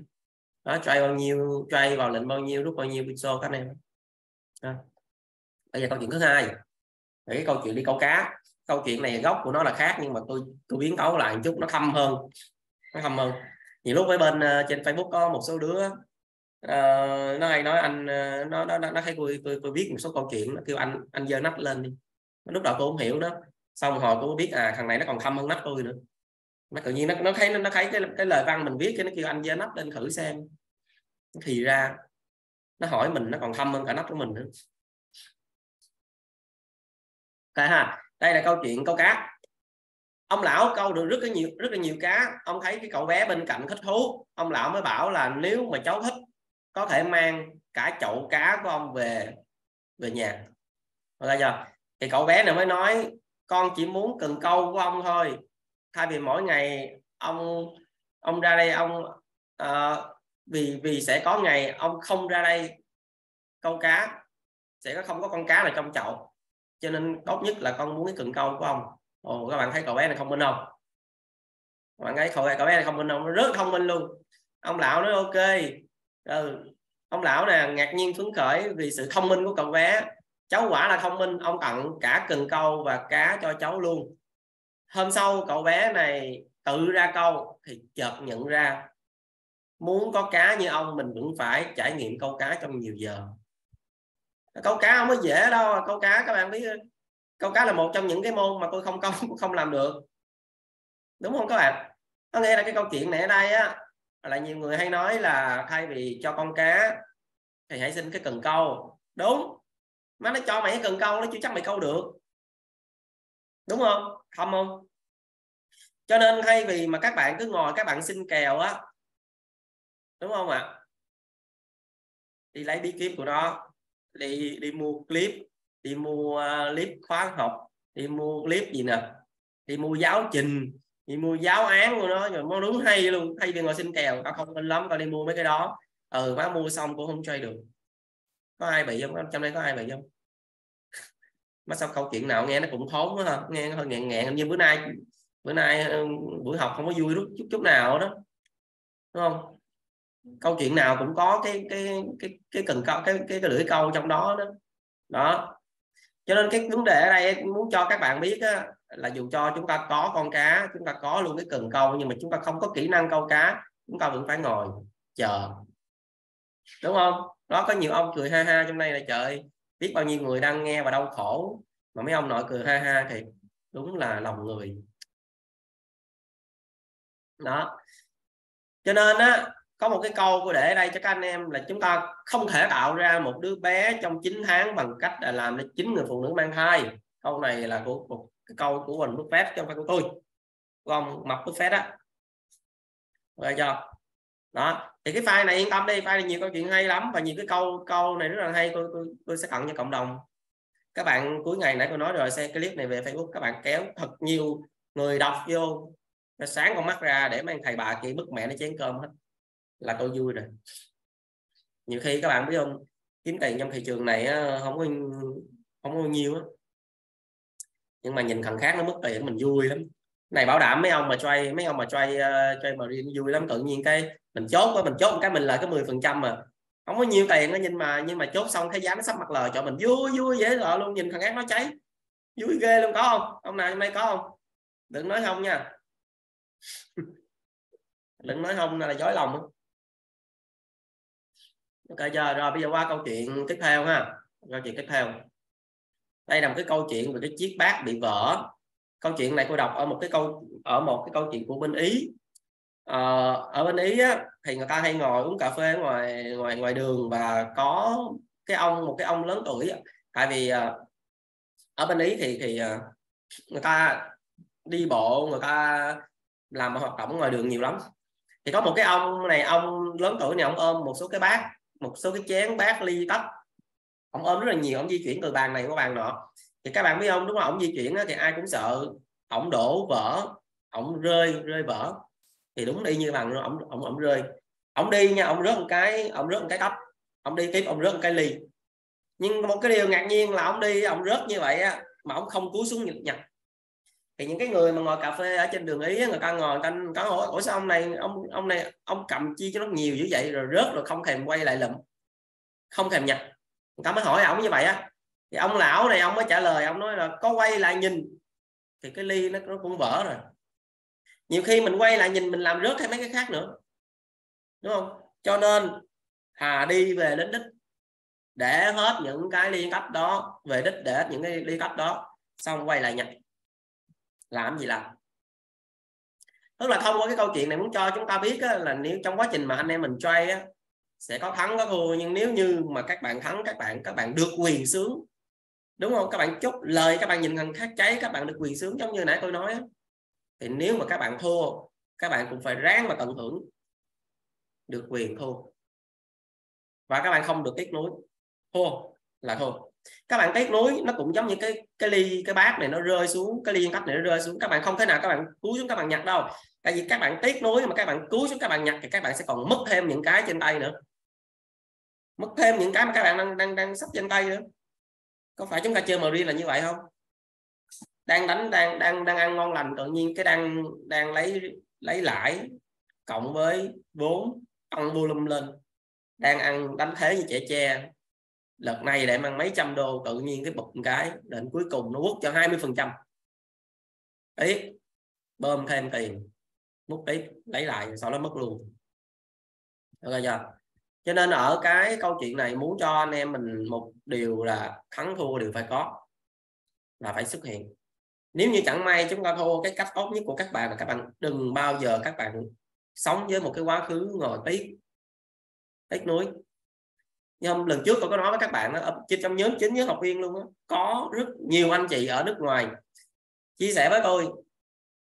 Sau khi học phân tích kỹ thuật học hệ thống giao dịch học viết cọt những anh chị đó các bạn biết không? Họ cầm tài khoản 2.000 đô họ đánh lên 3.000 4.000 mà cầm 5.000 họ đánh lên 10.000 luôn. Nhưng đối với họ không có vui các bạn. Họ không vui. Họ cảm thấy luôn mất mát họ không vui. Nếu như đổi lại nếu như đổi lại các bạn đánh từ cài khoảng 500 các bạn đánh lên 800 một ngàn các bạn cầm một ngàn các bạn đánh lên 2 ngàn 3 ngàn các bạn vui không? Vui không? Dễ gì không vui? Đúng không? Nhưng những cái người mà đã thua 300 ngàn đô như một anh ở bên Canada vừa rồi thua hơn 300 ngàn đô. Rồi cũng một anh nữa ở bên Mỹ uh, hình như ở um, ở cái vùng gì có ít không á? Alaska ở ở vùng Alaska như Mỹ, đúng không? Alaska, Mỹ. Anh đó thua gần một triệu đô. Và anh đó mà đánh những cái lệnh mà anh đó thắng 5 ngàn 7 ngàn, anh không có vui. Anh không vui. Tại vì sao? Tại vì cái quá khứ mất tiền nó luôn dây dẫn luôn ám ảnh chúng ta. Trong khi cái mà hiện giờ, hồi đó chúng ta cầm tiền, ít chúng ta cũng thua. Chúng ta cầm tiền, nhiều chúng ta cũng thua. Trong khi bây giờ chúng ta cầm tiền ít, chúng ta đánh được, kiếm được tiền mà chúng ta không cảm thấy vui, lòng nó vẫn bất an. Chúng ta nên thường cái chơi nữa cho nên cái cách tốt nhất mà tôi nói với các bạn, cái gì qua thì nó qua. Các bạn phải cảm ơn nó. Các bạn phải cảm ơn nó. Tại vì các bạn biết tại sao để một cái người mà như chúng tôi bây giờ có thể chốt lời 500 một ngàn, hai ngàn mà tỉnh như rùi coi như không có gì xảy ra. Thậm chí có những cái lệnh bị âm 200 300 chúng tôi cũng coi như không có gì xảy ra bởi vì chúng tôi tự tin lấy được, chốt lời lại được 500 một ngàn nhưng để được cái ngưỡng đó, chúng tôi có nói với các bạn một sự thật rằng là chúng tôi đã cần cháy 20 ngàn 30 ngàn 50 ngàn là bình thường. Mà trong 5 ngày cô đánh Forex mà cô cháy 4 tỷ 6 mà bình thường. Vậy tôi nói như vậy không có nghĩa là tôi muốn cho các bạn các bạn phải tôi muốn nói cho các bạn là các bạn cháy cái nhiều tiền lên, xong rồi mới gì vậy không? Tôi muốn nói đây là cái vấn đề cho là các bạn phải bỏ qua gạt đi những cái quá khứ đó, chúng ta tiếp nối chúng ta không có được gì. Nó chỉ mất thêm những cái hiện tại mà chúng ta đang có thôi đó là cái tâm lý mà riêng đang rất là nhiều người bị đấy. Thua là thua không có câu chuyện lấy lại, nhìn vô những cái mà bạn đang có và gia tăng tài sản từ những cái đó. Tích tích tiểu, thành đại, từ từ. Còn các bạn vẫn còn tiếp nối những cái đó, cho dù các bạn cầm một ngàn, các bạn đánh lên hai ngàn, các bạn không có happy. Ok ha. Tiếp bài học nữa. Có một cái làng chuột. Có một cái làng chuột thì trong cái ngôi làng này á, có một cái ông chuột già gọi là già làng. Thì con con chuột con nó mới hỏi ông chuột già làng. Con chuột già nhất nó hỏi ờ, ông ơi bí quyết nào mà giúp ông sống thọ đến như vậy? Không trong khi bên ngoài kiếm ăn vất vả quá nhiều cạm bẫy quá nguy hiểm quá thì cái con chuột già này nó mới nói tao đâu có sống lâu đâu. Tại cậu phải chết sớm thôi chứ tao đâu có sống lâu đâu. Đúng không? Cao đâu, cao đâu có sống lâu đâu. Các bạn biết tuổi thọ con người bây giờ mà cỡ một trăm trăm trăm trăm mười là là là tuổi thọ rất thọ rồi. Trong khi đó các bạn biết từ thời xưa người không có môi trường nó không có ô nhiễm không có nhiều thứ như vậy các bạn biết họ sống 150 tuổi 180 thậm chí 300 tuổi là bình thường.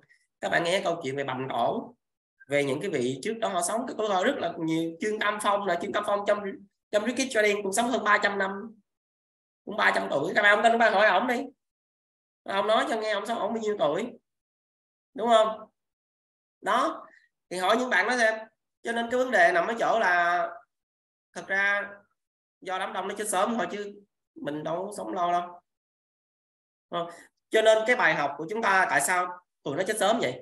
Là tại vì cái đám chuột con này nè, nó thích đi ra những cái nơi rủi ro, những cái nơi cạm bẫy, nhiều cạm bẫy và nguy hiểm của nó kiếm ăn, cho nên nó chết sớm cho mấy con chuột dài này á, nó ăn ít mà sống lâu, nó không ra ngoài. Nó không bị dính mấy cái bẫy, không bị rủi ro. Cho nên cái bài học trong đây là trong đầu tư thì chúng ta phải vào lệnh vì rủi ro thấp chứ không vì lợi nhuận cao. Ok chưa? Vào lệnh vì rủi ro thấp chứ không vì lợi nhuận cao. Cái này nó rất quan trọng nha các bạn cái cái nền này mà các bạn không set up vô cái ma ngay từ bây giờ vào những cái bài sau, các bạn sẽ bị vướng liền luôn. Các bạn học lên cái phần phân tích kỹ thuật ở cái chỗ này nè các bạn học đến cái phần 3 phân tích thừa có chắc chắn các bạn 100 phần trăm các bạn sẽ bị vướng ngay. Bởi vì có những cái kèo rất là đẹp luôn, rõ ràng nhìn con OP này, nó bây giờ là nhìn OP này lên rất là ngon. Chắc chắn, hầu như chắc chắn nó chạm tay về bắt đầu ở đây đẩy vô 5.000 đô 10.000 đô, ít hai chục, dính liền tại chỗ. Như hồi nãy bên cộng đồng có một bạn mới chat trên cộng cộng đồng, anh ơi, em đánh ít 5 ít 10 thì em chốt lời ít quá. Em đánh lên ít hai chục, năm chục, đánh on coi, ít hai chục, năm chục thì em thấy lên rất là nhanh mà mau cháy quá market nó đâu có giết em đâu. Tại em tự tăng volume em giết em, đúng không? Thì em làm, em là mấy con chuột non này nè. Còn những thằng mà đánh ít năm ít 10 nó nó vẫn về bờ, nó ăn ít mà nó sống lâu trong khi em bước cho ít hai chục mà đánh on coin mà ít có hai chục à.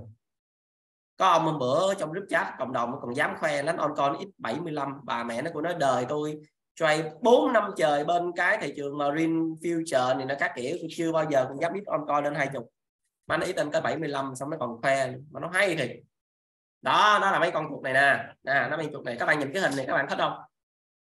Con chuột già này nó mà sống thọ được thì các bạn nhìn cho kỹ, cái đuôi của nó dính biết bao nhiêu cái bẫy kẹp chuột. Ok chưa? Bài học nha, những cái này nhớ về ngẫm sâu sắc lắm đó. được chưa? Vừa vừa học, vừa soi chạc đấy à, cũng một cái cửa hàng bát đĩa nữa. Một cái ông một cái người đàn ông dẫn vợ mình đến ờ, một cái cửa hàng mua bát đĩa. Sau khi người vợ chọn mua một bộ thì người đàn ông này lại không đồng ý bởi vì cái bộ bát đĩa này quá giá trị quá cao. Các bạn nói ui gái đẹp. À cái hình này hả? Cái hình này con cũng biết sao. Up cái hình này lên nó không liên quan câu chuyện này luôn hình như nào nó hắt nick của nó up rồi. Thì uh, hai vợ chồng này ông mới tới cái chỗ bán đĩa này ông mua cái bộ bát đĩa này mà cái bộ bát đĩa này quá cao giá quá cao mắc quá thì ông chồng ông không muốn mua. Ông muốn mua. Xong rồi ông chủ cửa hàng ông mới nói, nói nhỏ vô lỗ tai của ông chồng ông nói là ông nói nhỏ xong rồi ông nói cái gì đó xong ông chồng này ông mua liền luôn. Các bạn biết ông nói gì không? À các bạn nói là bộ bát đĩa này trắng và to quá hả? À, hợp lý cái hình cũng đúng giống giống vậy nó có liên quan đó ừ thì ông này ông mới nói, ông ông bán ông bán bát đĩa này, ông mới nói là cái bộ này đắt như vậy, vợ anh sẽ không bao giờ để anh rửa nó. Ô, ông chồng nó hay, con muốn cái bộ này về, con khỏi rửa chén. Khỏi rửa chén. Thì cái bài học này nó rút ra cho chúng ta là gì? Nó cho chúng ta biết là trong đầu tư vốn không có khái niệm mắc hay rẻ, mà nó chỉ có giá hợp lý. Đúng không? Trong đầu tư mới khái niệm mắc hay rẻ nha, mà nó chỉ có giá hợp lý à, cái này cũng là một trong những cái tư duy nền để sau này chúng ta vào on coin vào vào spot vào uh, vào spot vào uh, marine tìm những cái entry. Sẽ không có câu chuyện giá cao quá giá thấp quá. Khi chúng ta đưa cái tư duy của Bitcoin VSA vào chúng ta nhìn những cái này nó rất là tuyệt vời luôn. Chỉ có giá hợp lý thôi. Ok chưa? Nhớ cái bài học này nha. Tiếp nữa bài học nữa. Đó học học tâm lý giao dịch thoải mái không? Nghe kể chuyện cái này dùng này kể lại cho mấy đứa sau này mấy đứa con cháu mình nghe sau này. Tâm lý giao dịch nó thoải mái lắm các bạn. Cái này câu duy giao dịch đấy. Có một cái chàng trai yêu cô nàng này năm 16 15 tuổi. Mà yêu yêu vào cái năm nay yêu vào cái cái cái, cái, cái tuổi đó là giữa bốc lịch chứ trả đùa đâu. Thì chàng và nàng nè lén lút đi lại quan hệ quậy gia đình trốn nhà dọa chết chết không được chấp nhận dọa chết. Nếu như không, tình yêu của họ không được chấp nhận, vân vân và may may. Ok. Nếu mà chàng trai này và cô gái này kéo dài cái mối quan hệ này được một năm, thì sẽ là phạm pháp, dụ dỗ trẻ vị thành niên ở tù. Nhưng nếu như mà cái mối quan hệ này kéo dài được 3 năm, thì đây là tình yêu trộm tình yêu oan trái. Nhưng nếu mà mối quan hệ này kéo dài được 6 năm, thì đây là tình yêu đích thực, vượt qua bao sóng gió và phải cho, đó là cái tấm gương tình yêu trong sáng cho nhiều người người ta học nói theo. À, đọc qua câu chuyện này chúng ta rút được bài học gì các bạn? Qua 3 năm vẫn là phạm pháp hả? Thì đúng rồi 15 16 tuổi qua năm phải qua 6 năm. Các bạn thấy không? Qua 6 năm thì người ta lại coi nó là kinh nghiệm quý báu tấm gương noi theo. Bài học trong đây là trong kinh doanh không quan trọng bạn làm gì quan trọng là bạn làm được trong bao lâu. À, cái này là cái bài học trong cái slogan này là trong cái bài học trong đây thôi nha đừng mấy chị đừng có dùng cái câu này để về dạy cho mấy ông nha. Mấy ông mấy, mấy, mấy chị dùng câu này về nói mấy ông mấy ông uh, lên chửi tôi chết luôn đó ok chưa không quan trọng là bạn làm cái gì quan trọng là làm trong bao lâu. Ha? Rồi và khi chưa thành công thì đúng cũng là sai. Nhưng mà khi mà bạn thành công rồi á thì làm sai cũng là đúng. Có một cái nữa là có thể bạn chưa có đúng. Có thể những cái gì chúng ta làm chưa đúng nhưng chỉ cần chúng ta sống đủ lâu chúng ta nhìn thằng khác nó sai thì chúng ta đúng. À, có hay nói đùa trong cộng đồng thì câu chuyện này nó là như vậy. Ban đầu có thể là bạn làm chúng ta chúng ta vào phân tích kỹ thuật chúng ta vào chúng ta vào học thầy bà lỡm học người này người nọ các kiểu nhưng chúng ta chẳng qua đó là những cái cần diễn ra. Những cái cần diễn ra trong cuộc sống chúng ta nó là những cái chúng ta học về Elliot rồi chúng là những sóng điều chỉnh nó phải xuất hiện. Ok chưa? Thì chúng ta đi năm chưa đúng đi 3 năm vẫn chưa đúng. Xã hội vẫn lên án. Đúng không? Hồng phong mỹ ngọc nó vẫn lên án. Má qua 6 năm là tình yêu vượt khó à. Nó sẽ đúng. Cho nên trong trading cũng như vậy có những cái bây giờ chúng ta chưa sai. Các bạn đừng có, các bạn đừng có vội. Các bạn bỏ cuộc. Cố gắng. Cố gắng và cố gắng. Ráng. Sống đủ lâu. Tự nhiên các bạn sẽ đúng. À. tiếp còn đây là cái câu chuyện mà vừa rồi cô bên ờ, cô làm cái clip cô đặt cái câu hỏi mà ai trả lời thì bạn ai trả lời mà cô cảm thấy tâm đắc nhất cô sẽ tặng cái món quà đó cho họ gồm có hai cái bộ sách về về một là bộ văn khứng ờ, các cái ngày lễ tết uh, ờ, hai là cái bộ về về về lịch uh, lịch uh, âm lịch. Ba là cái file này. Ok chưa? Thì đây là một cái câu chuyện về cái bình chứa nước. À, một cái bình chứa nước cộng với cái ống dẫn nước chúng ta sẽ có 20 nhịp bơm và hút. Không? 4 giờ đồng hồ trong 4 tiếng đồng hồ thì nó sẽ chạy một nhịp. Nhịp này có thể là bơm hay hút. Nhưng tổng cộng trong 20 nhịp này á 4 tiếng đồng hồ một nhịp trong 20 nhịp này thì sẽ có 10 nhịp bơm và 10 nhịp hút. Vậy nếu như mà nhìn nghiệm lại thì bây giờ chúng ta vẽ lại nha. Nghiệm lại đây là một cái bình chứa nước. Ok cho đây là một cái bình chứa nước.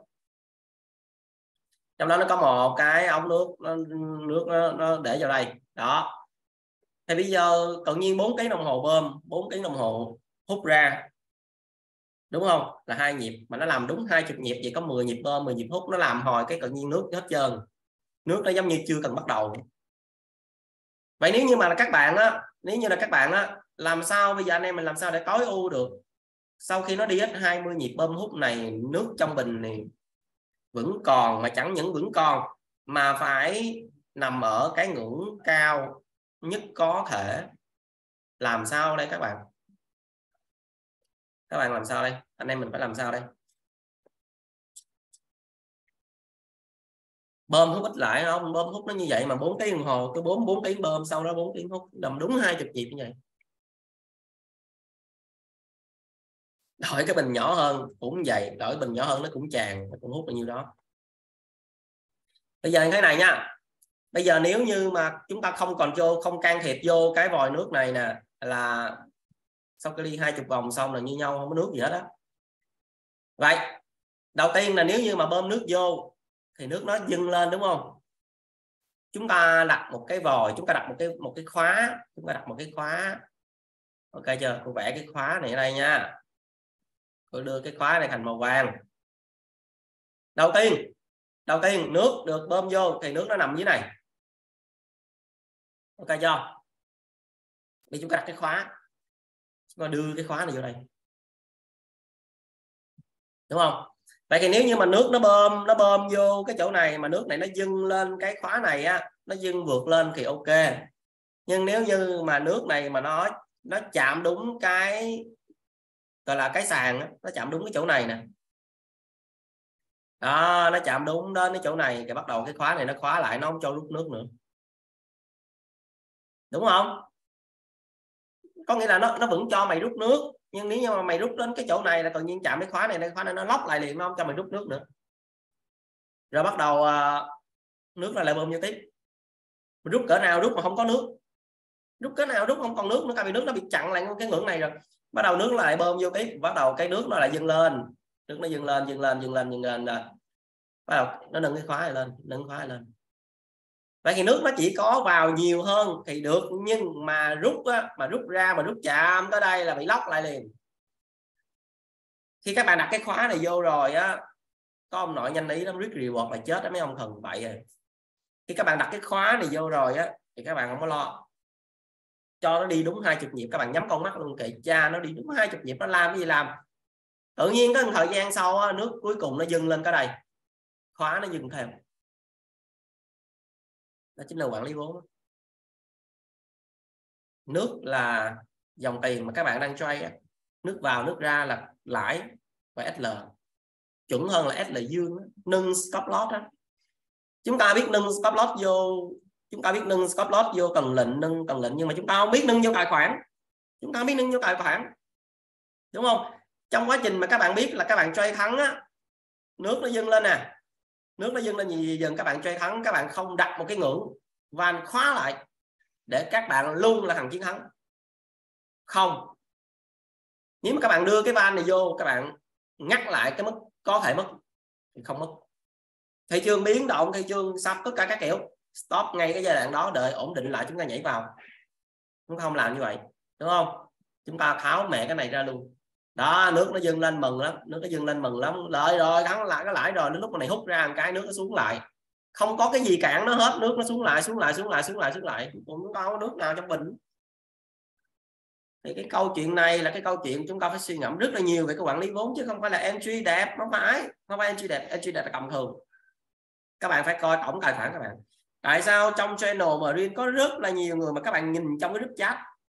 Đây nhìn trong group chat các bạn nhìn sáng nay có một số anh em rút tiền rồi có rồi, rồi rút tiền bốn mươi mấy triệu ba mươi mấy triệu năm mươi mấy triệu rút tiền xô liên tục. Tại sao các bạn không xô được? Tại sao nhìn của nó xô xô xô lệnh rút tiền bán USDT ra nó ăn ớt máy trong khi mình bị cháy tại sao vậy? Là tại vì các bạn không đặt cho mình một cái van này nè không đặt cho mình cái van này trong tổng tài khoản của các bạn. Lúc mà thắng á đặt cái van này vô có nghĩa là gì? Nếu có cháy cháy ở cái ngưỡng này, ngưng. Có đợi cho mày sắp mặt lờ, mày biến động, mày làm con mẹ vậy đó, mày làm market, mày làm gì đó, mày làm tình làm tội mày làm gì đó, làm cho đã đi. Sau khi market ổn định lại, ngồi trade tiếp. Nước nó dâng lên dần dần dần lãi nó lên, dâng lên dần dần, đặt cái van này khóa lại cái đúng không? Đánh như trẻ tre, bắt lại nhịp rồi. Ví dụ như các bạn đang bay anh em mình đang bay bay bay bay ngon lành, tự nhiên, cái tự nhiên nó dứt dứt tròn cây xuống rồi. Khóa lại liền luôn. SL liền luôn, ngưng, đứng ngoài quan sát phải chăng bây giờ bay có rủi ro hay không? Đợi nó biến động, đợi nó sắp mặt lờ nó đi cho vững là ok, nhảy vô bay lại tí. Hoặc là xác định lại, bây giờ nên sell nhảy vô lại xong chúng ta không có làm cái ban này. Đây là quản lý vốn. Về gác chân lên chán sau buổi hôm nay gác chân lên chán suy nghĩ là cái cách mà các bạn quản lý vốn trong marine.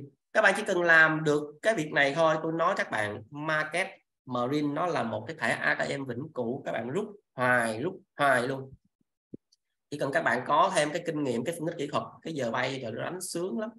Giống như rồi tôi nói bây giờ cô chuẩn bị có mua tiếp con con Lycam nữa nè. Con ờ, uh, DJI uh, ờ, mini mini 3 mini pro 3 đó. Hồi nãy mấy anh đó hồi sáng nay tôi mua con uh, con camera của dji luôn. Có lúc dji DCI luôn công nhân thằng đó nó làm làm đồ chơi camera này nó đẹp thiệt. Tết nãy giờ trên nhà tôi nè. Rất là đẹp mua con đó uh, hôm qua đánh hai lệnh hơn 500 đô, đúng không? Thì mua con đó ờ, 10 triệu ba. Chuẩn bị mua con này hơn 18 hai chục nữa. Thì chắc chạm con TB là có đủ tiền đó tại vì chạm chạm kèo con OP chứ. Chạm con kèo con OP là có ăn đâu đó tầm khoảng 900 mấy ngàn thì cũng cỡ 20 triệu đủ mua con đó rồi. Đủ mua con đó 17 triệu 17 18 triệu. Cho nên market nó sẽ là một cái, marine nó sẽ là một cái mà còn mấy ATM nếu như các bạn biết, kìm lại. Đừng có tham. Đặt cái khóa này lại đặt cái van này lại trong quản lý vốn. Ha. ok chưa? Rồi. Nhớ những cái bài học này ha. Rồi ai hôm nay nghe được cái bài học này thì lên trên, lên cái Facebook mà cô đang hỏi trên đây nè. Các bạn comment trên đây ha. Trên đây nãy giờ chưa có đứa nào mà trả lời cô giữa hết đó nhanh tay nhanh tay lên comment đó, lụm ngay cái bình giữ nhiệt tôi tặng. Ha. Tại vì sao? Các bạn up lên đây là có rất là nhiều người nè. Tụi nó like, tụi nó comment, có rất nhiều người đọc nữa cho nên các bạn đang lan tỏa một cái rất là hay. Không có cái gì cho đi hay bằng kiến thức bằng kinh nghiệm. Các bạn đừng có cho tiền bạc đừng có cho thức ăn nó không phải là một cái từ thiện tốt bằng cái việc cho người ta một cái gì đó rất là hay ho để người ta truyền lại cho con cháu người ta luôn. Ok chưa? Rồi. Tiếp. À, bây giờ chúng ta mới đi tiếp. Chúng ta sẽ đặt câu hỏi là bây giờ bản chất cái chén thánh của một cái trader thực thụ nó nằm ở đâu? Nó nằm ở đâu? Đúng không? Bản chất chén thánh nó nằm ở đâu à? Chúng ta phải hiểu là kiếm tiền và giàu nó khác nhau chỗ nào. À, kiếm tiền và giàu nó khác nhau chỗ nào? Chúng ta phân biệt được cái này nha. Uống nước tí tại sao tôi nói kiếm tiền và giàu nó khác nhau? Kiếm tiền thì nó dễ lắm. Ví dụ ờ, các bạn ra, các bạn bán bún bò, các bạn bán một vịt lộn, các bạn đi lừa, đi scam thiên hạ, mà đi làm đủ kiểu cũng kiếm tiền đó, cũng cũng có tiền đó, nhưng mà giàu không các bạn? Giàu không? Không có giàu. Trong nhất thời nó chỉ có tiền thôi. Thậm chí đánh marine hôm nay ăn được 500 ngày mai ăn ngàn. Nhưng mà nhìn lại thời gian xong, các bạn thấy mình có giàu chưa? Mà không có nói thiệt đấy giàu nhất thời thôi các bạn nó chỉ có tiền nhất thời thôi. Nhiều khi đôi lúc tự hỏi lại mất phải có phải chăng là tôi đang tạm giữ tiền dùm cái thằng mặt lờ nào đó trong cái group cái trading? Xong thời gian sau nó giữ tiền lại của tôi mà nó còn giữ nhiều hơn nữa. Rồi thời gian sau thằng khác giữ tiền lại của nó. Ủa, ủa gì bây giờ mình mình mình mình thắng 200 300 chẳng qua mình giữ tiền giùm thằng khác thôi. À vài bữa nó lòi lại nó đòi lại cái 500 cũng vậy à có bao giờ nghĩ đến việc đó không? Nếu mà có nghĩ đến việc đó thì các bạn đang kiếm tiền đó. Chưa có giàu.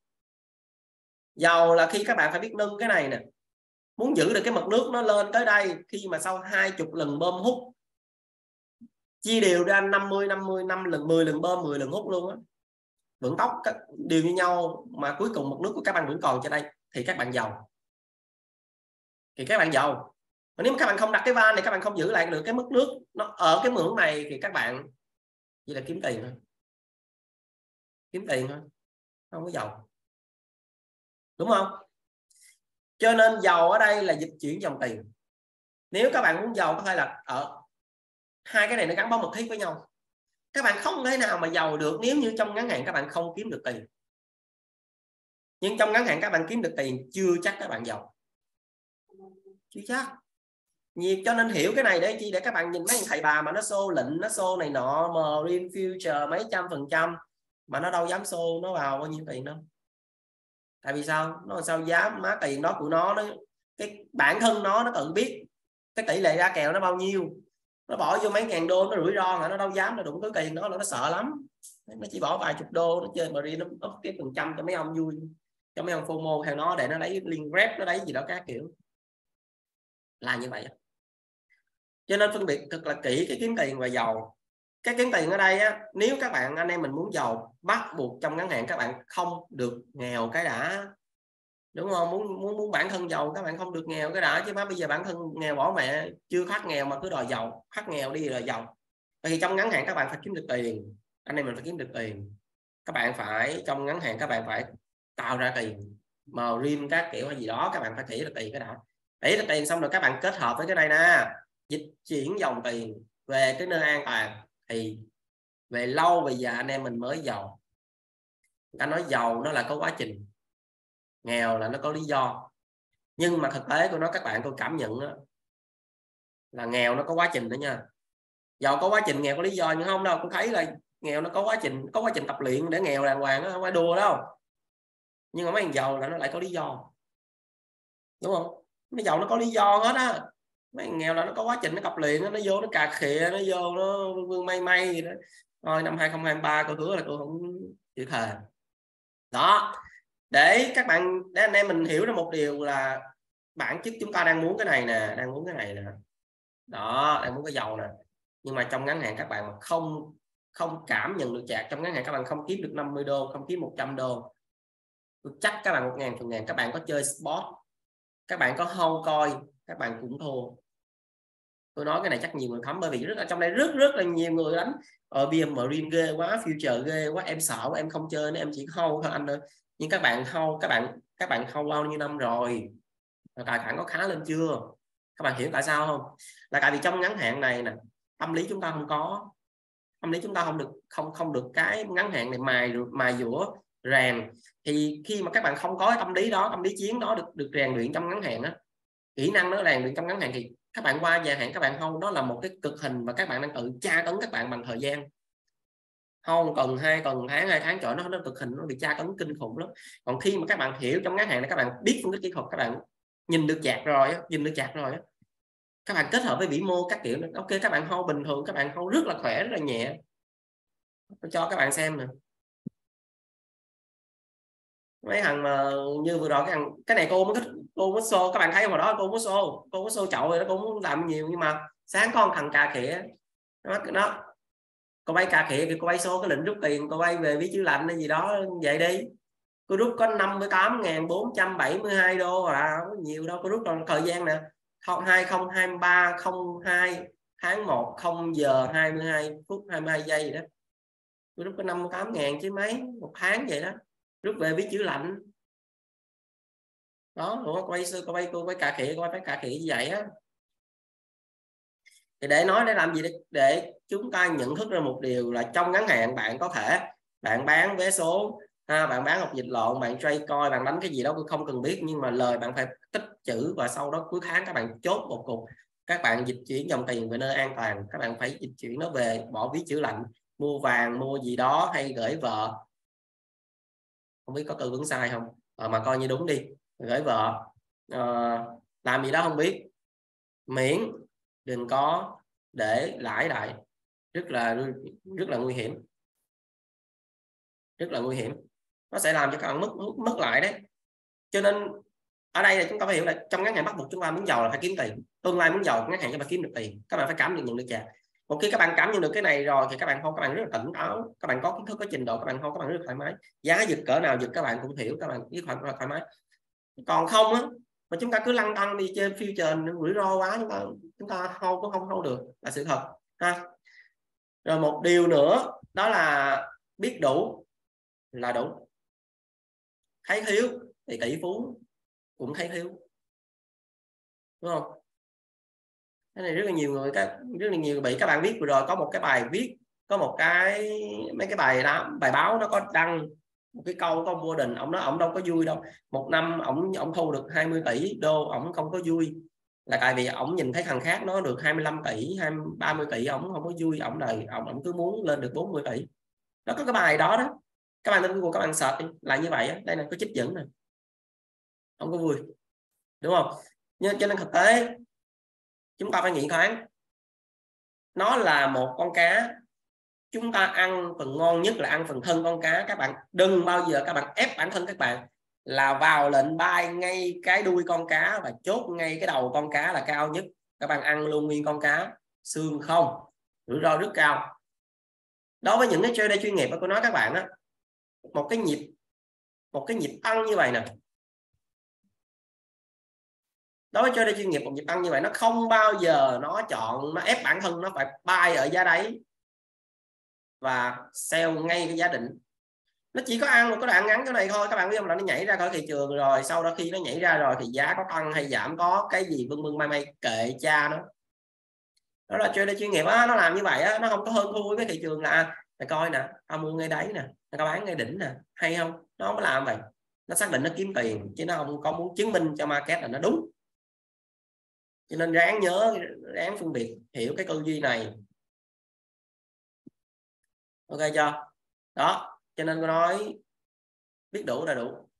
Còn đã thấy thiếu rồi thì tỷ phú cũng thấy thiếu ha. Rồi bản thân chúng ta sẽ có một cái nhịp sống elite riêng. Cái này sẽ, cái này sâu hơn một chút sẽ có một cái buổi riêng về elite nó sẽ nói về cái này nữa. Ok chưa? Ha, tức là gì? Bản thân chúng ta, nó sẽ có một cái nhịp sống elite riêng như vậy nè.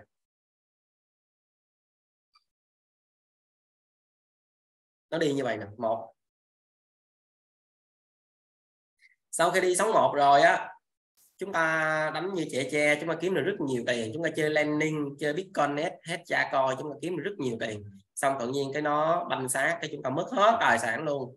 Là tại vì từ cái chúng ta rút ra không kịp, từ cái giai đoạn từ số 0 lên số 1 này là chúng ta kiếm rất nhiều tiền, phải chỉ chúng ta rút ra, nó không nói. Để lại để lại mua gói cao hơn. Đúng không? Kiếm được nhiều tiền hơn, đáo hạn nhanh hơn sau đó nó sắp là từ cái sóng một rớt xuống cho cháy. Cháy xong rồi chúng ta chuyển qua thể lệ chơi mới, chúng ta vô trade coin trade margin trade future, chúng ta học thầy này bà nọ, chúng ta đi sóng ba, chúng ta kiếm rất nhiều tiền. Xong chúng ta không rút lại, nó rớt phần trăm xuống. Sóng 4 nó rớt, thì cái sóng 4 này nó rớt là nó rớt theo phần trăm tỷ lệ vàng của sóng 3 này. Sóng 3 này nè sóng 3 này lớn hơn sóng 1 rất nhiều, cho nên khi mà nó rớt trên đây mà, cái giai đoạn nó rớt mà cái cái tài sản chúng ta để trên đây quá nhiều, volume quá lớn trên đây, thì chúng ta banh sát chúng ta bị bị bị mất cái phần trăm tương ứng với cái khối lượng này. Rồi chúng ta lại giác ngộ vậy lúc đó chúng ta vào risky trading. Rồi chúng ta vào kèo marine nó là đánh lên nè, đó, đánh lên nè. Sau đó mà chúng ta banh sát luôn, cuối sống năm mẹ nó rồi. Ông thành ông cho kèo như trẻ tre, ai ai ngờ ông cũng đang đi sống năm của ông, cái chúng ta theo kèo của ông, chúng ta banh sát luôn. Đúng không? Đó là chúng ta chửi ổng. Chúng ta nói má cho kèo như gì á? Ăn tùm lum các kiểu trong khi trước đó không nhìn lại, trước đó ông thành ông cho kèo là từ chỗ này. Mấy thằng mà theo ổng là từ chỗ này nè, đó, từ chỗ này lên chỗ này, ông ăn ăn ăn ăn lên xong năm bắt đầu thua lại. Không không theo, không coi, vô tình mình xui. Biết gì giờ? Cái này cãi số chứ cãi gì giờ? Thực ra bản thân chúng ta nó đều có một cái nhịp sống Elliot, nó đi đi chang như vậy các bạn. Nhưng trong cái này các bạn phải chú ý một điều là nhịp sống này càng lên cao thì cái tổng khối lượng volume nó càng tăng lên cái này khi mà các bạn học về Elliot nó không có thằng nào nói với các bạn chỉ có những cái người mà hiểu về quyết cọn cả mới nghiệm nghiệm ra cái đó. Tổng khối lượng, không có các bạn mở để các bạn đo sóng Elliot xong các bạn câu volume xem. Nếu các bạn đo sóng 3 nha, các bạn đo sóng 3 nó nó tăng lên như vậy, theo tỷ lệ vàng các kiểu mà volume sóng, volume của sóng 3 nó không lớn hơn sóng 1 và hai các bạn đang đo sai đó.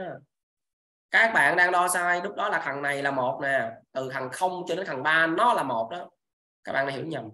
Cái này có ai học Elliot dạy các bạn không? Có ai nói chưa hay là giờ mới nghe? Cho nên các bạn có thấy tôi xài LS không? Tôi không? Nhưng mà LS cô biết. Cô biết sâu hơn nữa là khác. Đúng không? Đó. Đỉnh cao LS là khi các bạn đánh xong nó tự ra sống nó tự y chang LS chứ không phải là vẽ vẽ trước sống cho nên những cái người mà học LS họ không hiểu họ, họ không sống đủ lâu trong thị trường này họ không thích được nhiều.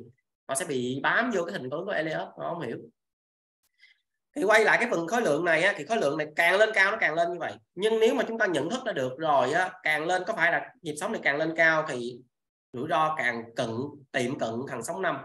Mà vô sóng năm một cái là ABC rất là nhanh. Đỡ không được. Vậy nếu chúng ta ý thức được là trong cái nhịp này là càng lên cao volume càng tăng vậy thì càng lên cao rủi ro càng tăng. Việc của chúng ta là giảm volume lại.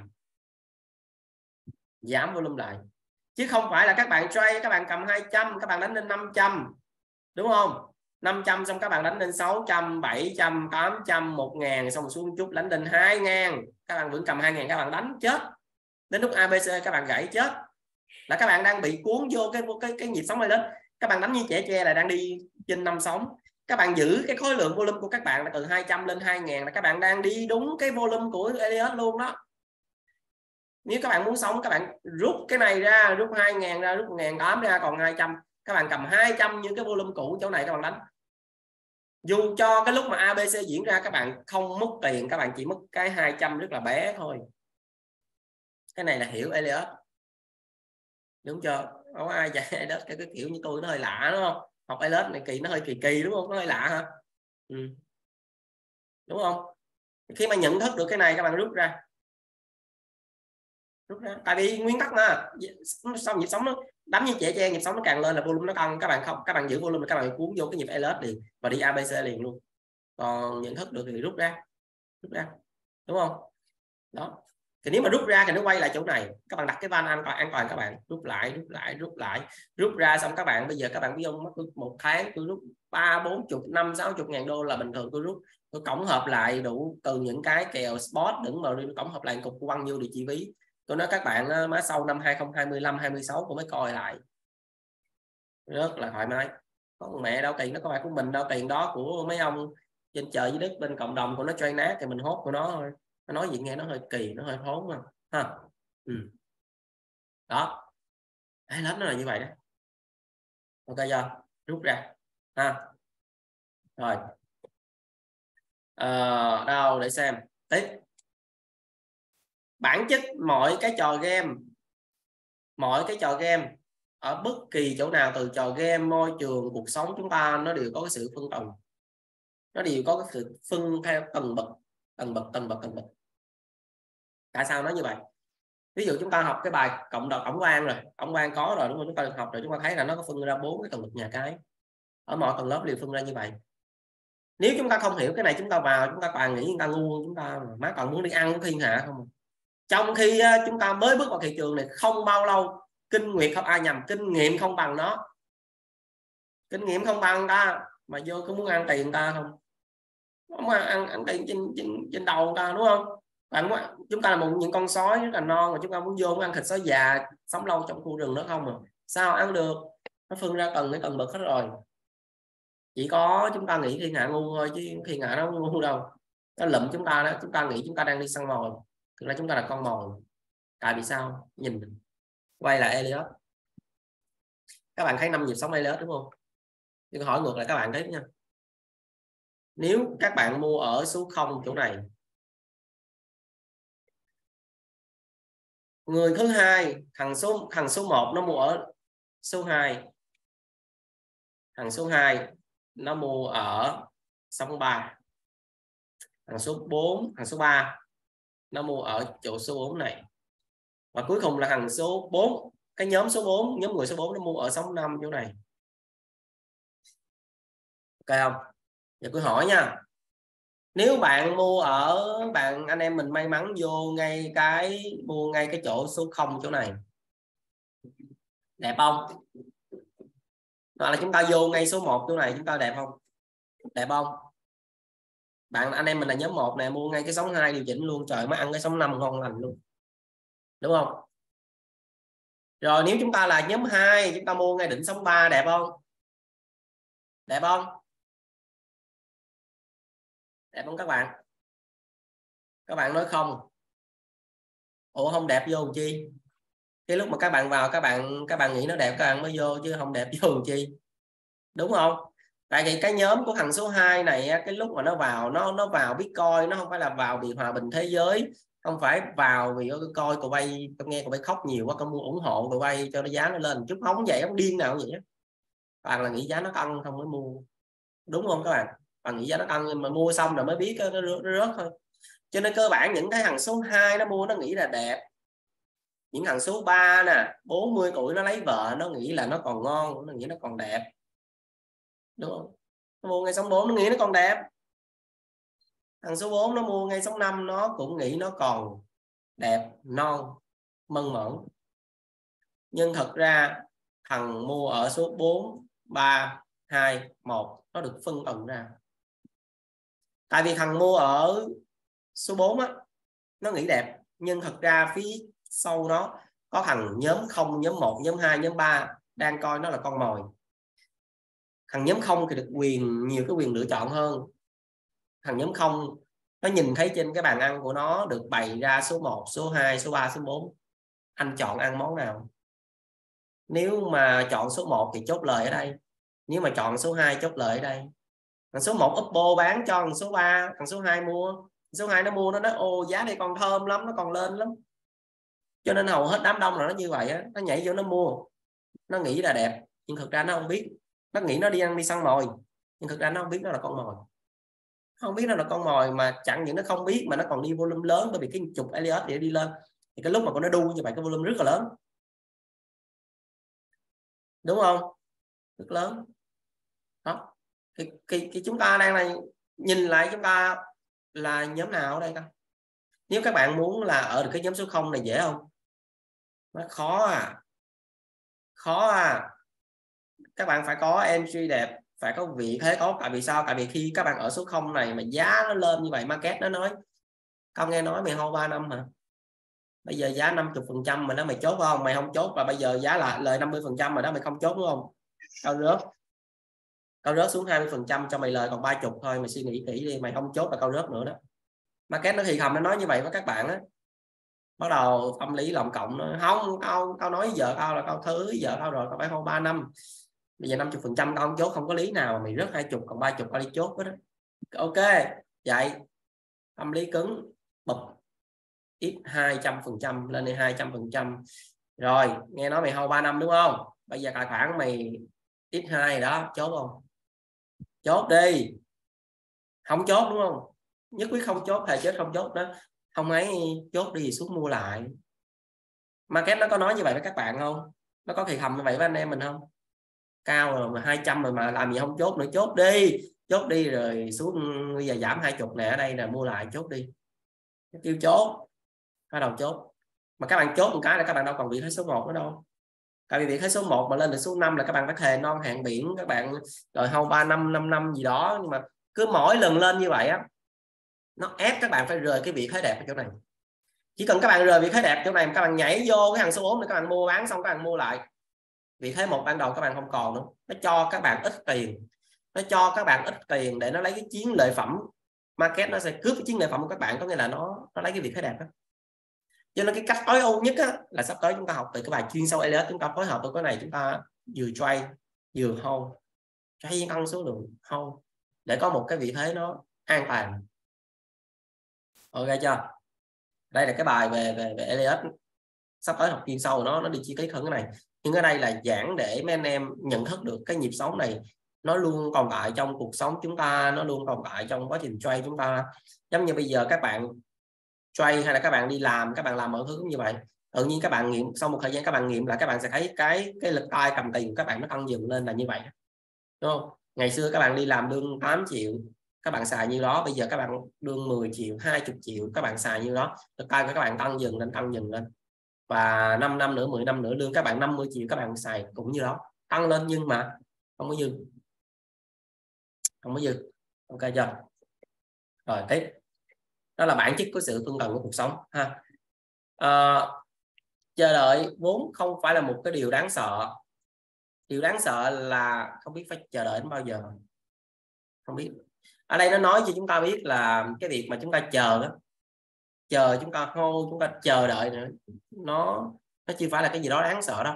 Đáng sợ là các bạn không biết phải chốt lời chỗ nào đó. các bạn phải nên chốt lời khúc nào đó. nên chốt lời đạn nào, chốt ở đây xuống đây mua lại, cho cân số lượng các kiểu. Đó đáng sợ chỗ đó.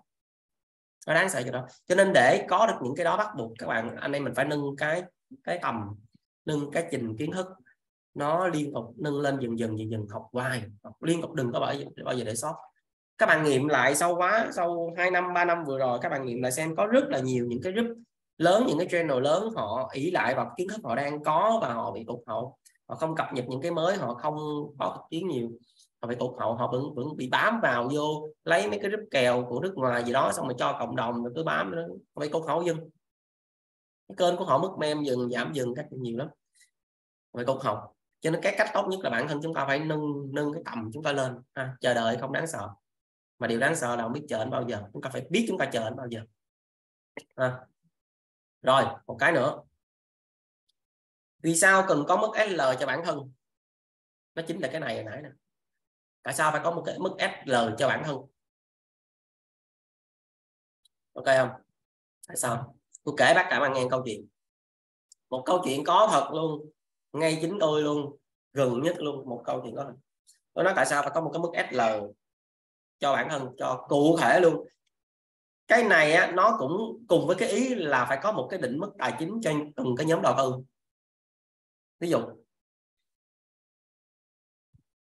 Ví dụ. À, các bạn đi làm lương ờ, 30 triệu. Anh em mình đi làm lương 30 triệu. Bây giờ trade coi ngon quá. Vô kèo mà rim bên cái chơi đi ngon quá. Cái ăn mấy chục phần trăm ngon quá. Không ấy lấy ngàn đô.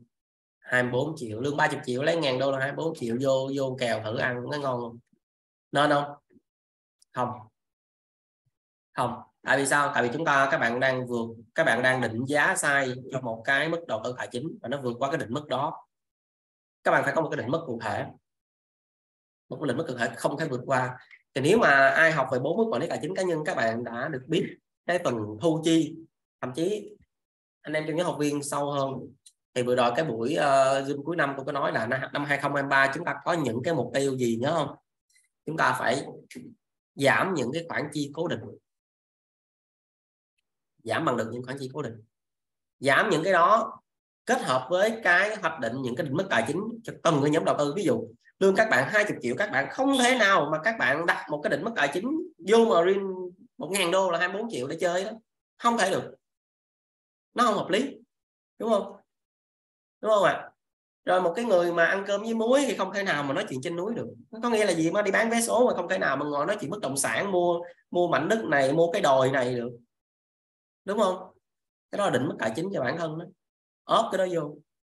Cụ thể hơn nè. Tôi kể về câu chuyện tôi luôn. Tôi rồi tôi tài trợ cho tôi tôi hay tài trợ cho những cái nhóm cộng đồng nó gọi là poster đó. Cộng đồng cho cứu hộ động vật. Của âm thầm của tài trợ. Cái nhiều nhóm ở Hồ Chí Minh lắm trong đó các bạn biết không vừa rồi cuối năm thì mùa nó trở lạnh thì uh, mấy con mèo nó bị bệnh nó bệnh uh, flip á. Bệnh flip một cái bệnh đó của nó các bạn biết là nó nó, nó muốn trị cái bệnh cái bệnh nó giống như là covid gì đó mà nó bị phổi và nó lan tỷ lệ sống rất là thấp. Mà để trị cái bệnh đó nó phải nhập một cái lọ thuốc là hai triệu đồng. Và các bạn biết có những cái chạm như vừa rồi tôi, tôi cài trợ cho một cái chạm là một, một tháng cái có một cái chạm tôi cài trợ cho họ là một tháng là 36 triệu. 36 triệu đây không có chém gió đâu. Đợi một tí.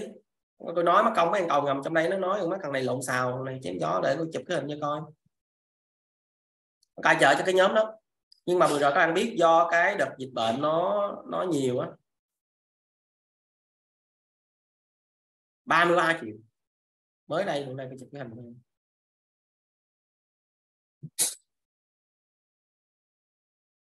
là mới tháng này nhá con không gửi cái này mất ông mấy ông này nói cái lộn xào. Nhiều thằng cầu ngầm bây giờ nó thấy ghét lắm nó canh tôi nó nó canh nó nó nó nó.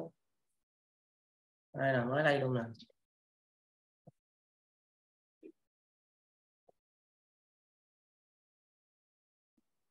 Nó canh là nó đâm không rồi đây. Đó.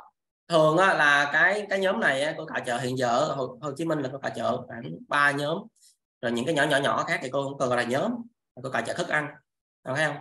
Tháng này là họ cần 33 triệu bình quân một tháng của họ là 33 đến 36 triệu. Thì các bạn biết vừa rồi cái đợt cuối năm vừa rồi á à, ở đây em vừa chuyển khoản nè. Cái đợt cuối năm vừa rồi các bạn biết là cái bệnh đó nó nhiều và cái chi phí nó tăng lên rất là khủng. Nó tăng rất là khủng. Nó tăng lên uh, cái việc mà chữa bệnh cho đám nhỏ nó tăng lên đến bảy mươi mấy tám mươi triệu. Nó tăng lên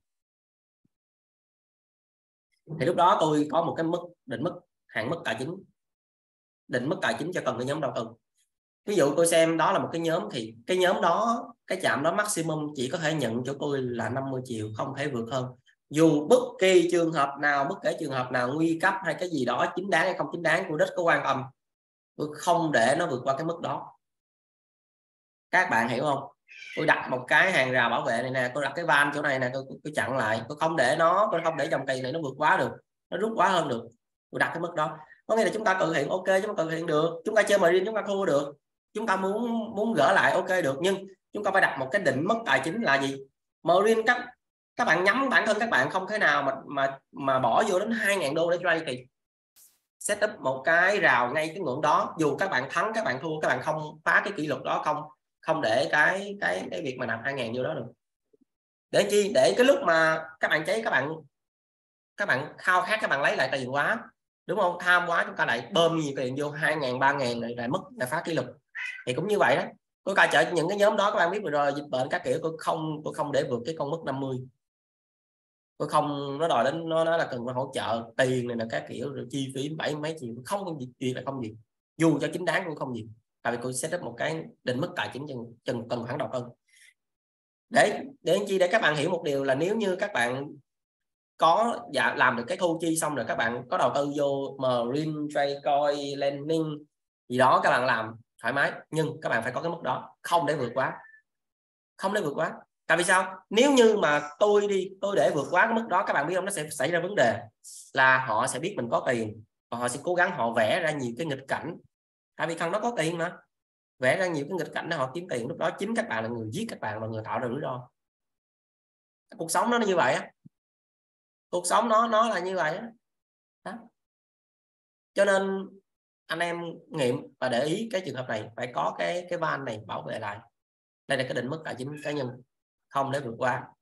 Ok chưa? Các bạn có thể đầu tư xoay coi, hold coi gì đó cũng được, nhưng tự setup một cái định mức này, không để vượt quá nó rất là rủi ro các bạn chưa thấy rủi ro đâu.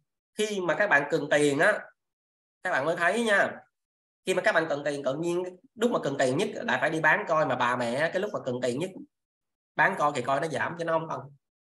Cái lúc mà không cần tiền thì coi nó tăng như cái gì vậy đó, mà cái lúc mà mình cần tiền, mình kẹt tiền, mình bán nó coi nó giảm. Có ai bị không? Ở đây câu hỏi thật, có ai bị không? Đầy luôn, đúng không? Đầy luôn. Đó, market nó rất biết an bài cho nên tốt nhất là các bạn phải setup cái van này cho nó ha. Cái van này chặn lại, bảo vệ lại. Ok chưa? Rồi, một điều nữa là cái giá trị của, giá trị và cái bài toán khó khi mà chúng ta xử lý cái vị thế. Tại sao vừa rồi trong channel Marine tôi phải làm một cái buổi quản lý vốn như vậy?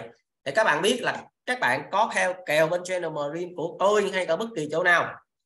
Bản thân các bạn cũng phải setup một cái mức SL từ lệnh cho đến bản thân nếu mà xét xét về cái quản lý vốn cho tổng tài khoản là các bạn nghe là cái bài quản lý vốn mà có cái quỹ dự phòng á set up cái mức đó đó chính là cái mức SL đó chính là cái van này nè, đó chính là cái van mà tôi làm cho các bạn chặn lại để cho các bạn không mất tiền đó không bị cháy trăm phần trăm ok chưa? Rồi khi các bạn vào, vô chi tiết hơn thì vào cần cái lệnh, vào cần lệnh nhỏ thì các bạn sẽ được một cái mức maximum là 50 phần trăm các bạn không bao giờ các bạn được để bản thân mình vượt qua 50 tại vì khi các bạn bị âm 50 phần trăm các bạn kéo lại nó còn kéo được nha nhưng các bạn mà để âm hơn 50 phần trăm các bạn không kéo lại rất là khó tôi thấy kéo lại được nhưng các bạn kéo lại rất khó thậm chí tôi cho kèo các bạn kéo lại luôn các bạn cũng không kéo lại được tại sao các bạn biết không là tại vì tôi cho cái kèo đó tôi tự tin tôi gồng nhưng các bạn nhận kèo đó của tôi các bạn không tự tin các bạn tự nhảy thuyền hoặc các bạn muốn gỡ nhanh hơn các bạn đánh ít to đi volume lớn cho nên nó khó chỗ đó. Bản thân tại vì đừng bao giờ để bản thân mình rơi vào cái thế khó bằng cách là bị âm hơn 50 phần trăm. Cho nên nhiều bạn mới nói là, anh ơi, kè bên Marine sau đôi lúc em không thấy anh báo SL thật ra, tôi ngồi hai, tôi một ngày 10 24 tiếng mà các bạn biết tôi ngồi tôi ngồi hơn mười mấy tiếng ở đây, tôi ngồi tôi canh chạc, tôi coi canh chạc của online cô này nó các kiểu của nó nhiều khi cô ôm cái máy còn nhiều hơn, cô ôm vợ cô nó còn là có thật cô còn canh kèo cho mấy ông cô báo SL cho các ông luôn. Có một cái máy chạy bằng cơ SL cho các ông muốn con mẹ gì nữa? Nguy hiểm là cô báo SL liền. Còn khi nào mà cô ra ngoài có cái nguy hiểm là cô sẽ báo với ông SL khi nào mà các bạn thấy bên channel mà mà tôi báo sẵn mức SL là lúc đó cô đang ra ngoài đó. Cô không có ngồi trên máy cho nên cô sẽ báo cái mức SL cho các bạn để an toàn. Và tốt nhất là các bạn phải hiểu cái vấn đề là cái Fibonacci 50 vừa rồi tôi, tôi chạy rồi. Các bạn phải đặt một cái mức SL 50 không có để vượt quá 50 tại vì sao? Tại vì đây nè khi bà bạn đang có 10.000 đô, bạn âm 10% tức là bạn âm 1.000 đô, tài khoản bạn còn 9.000 bạn âm 10 phần trăm, nè 1.000 đô là 60.000 đô là 10% đúng chưa? Tài khoản bạn còn 9.000 vậy thì để hòa vốn, bạn phải kéo lại 11% không phải 10% nữa.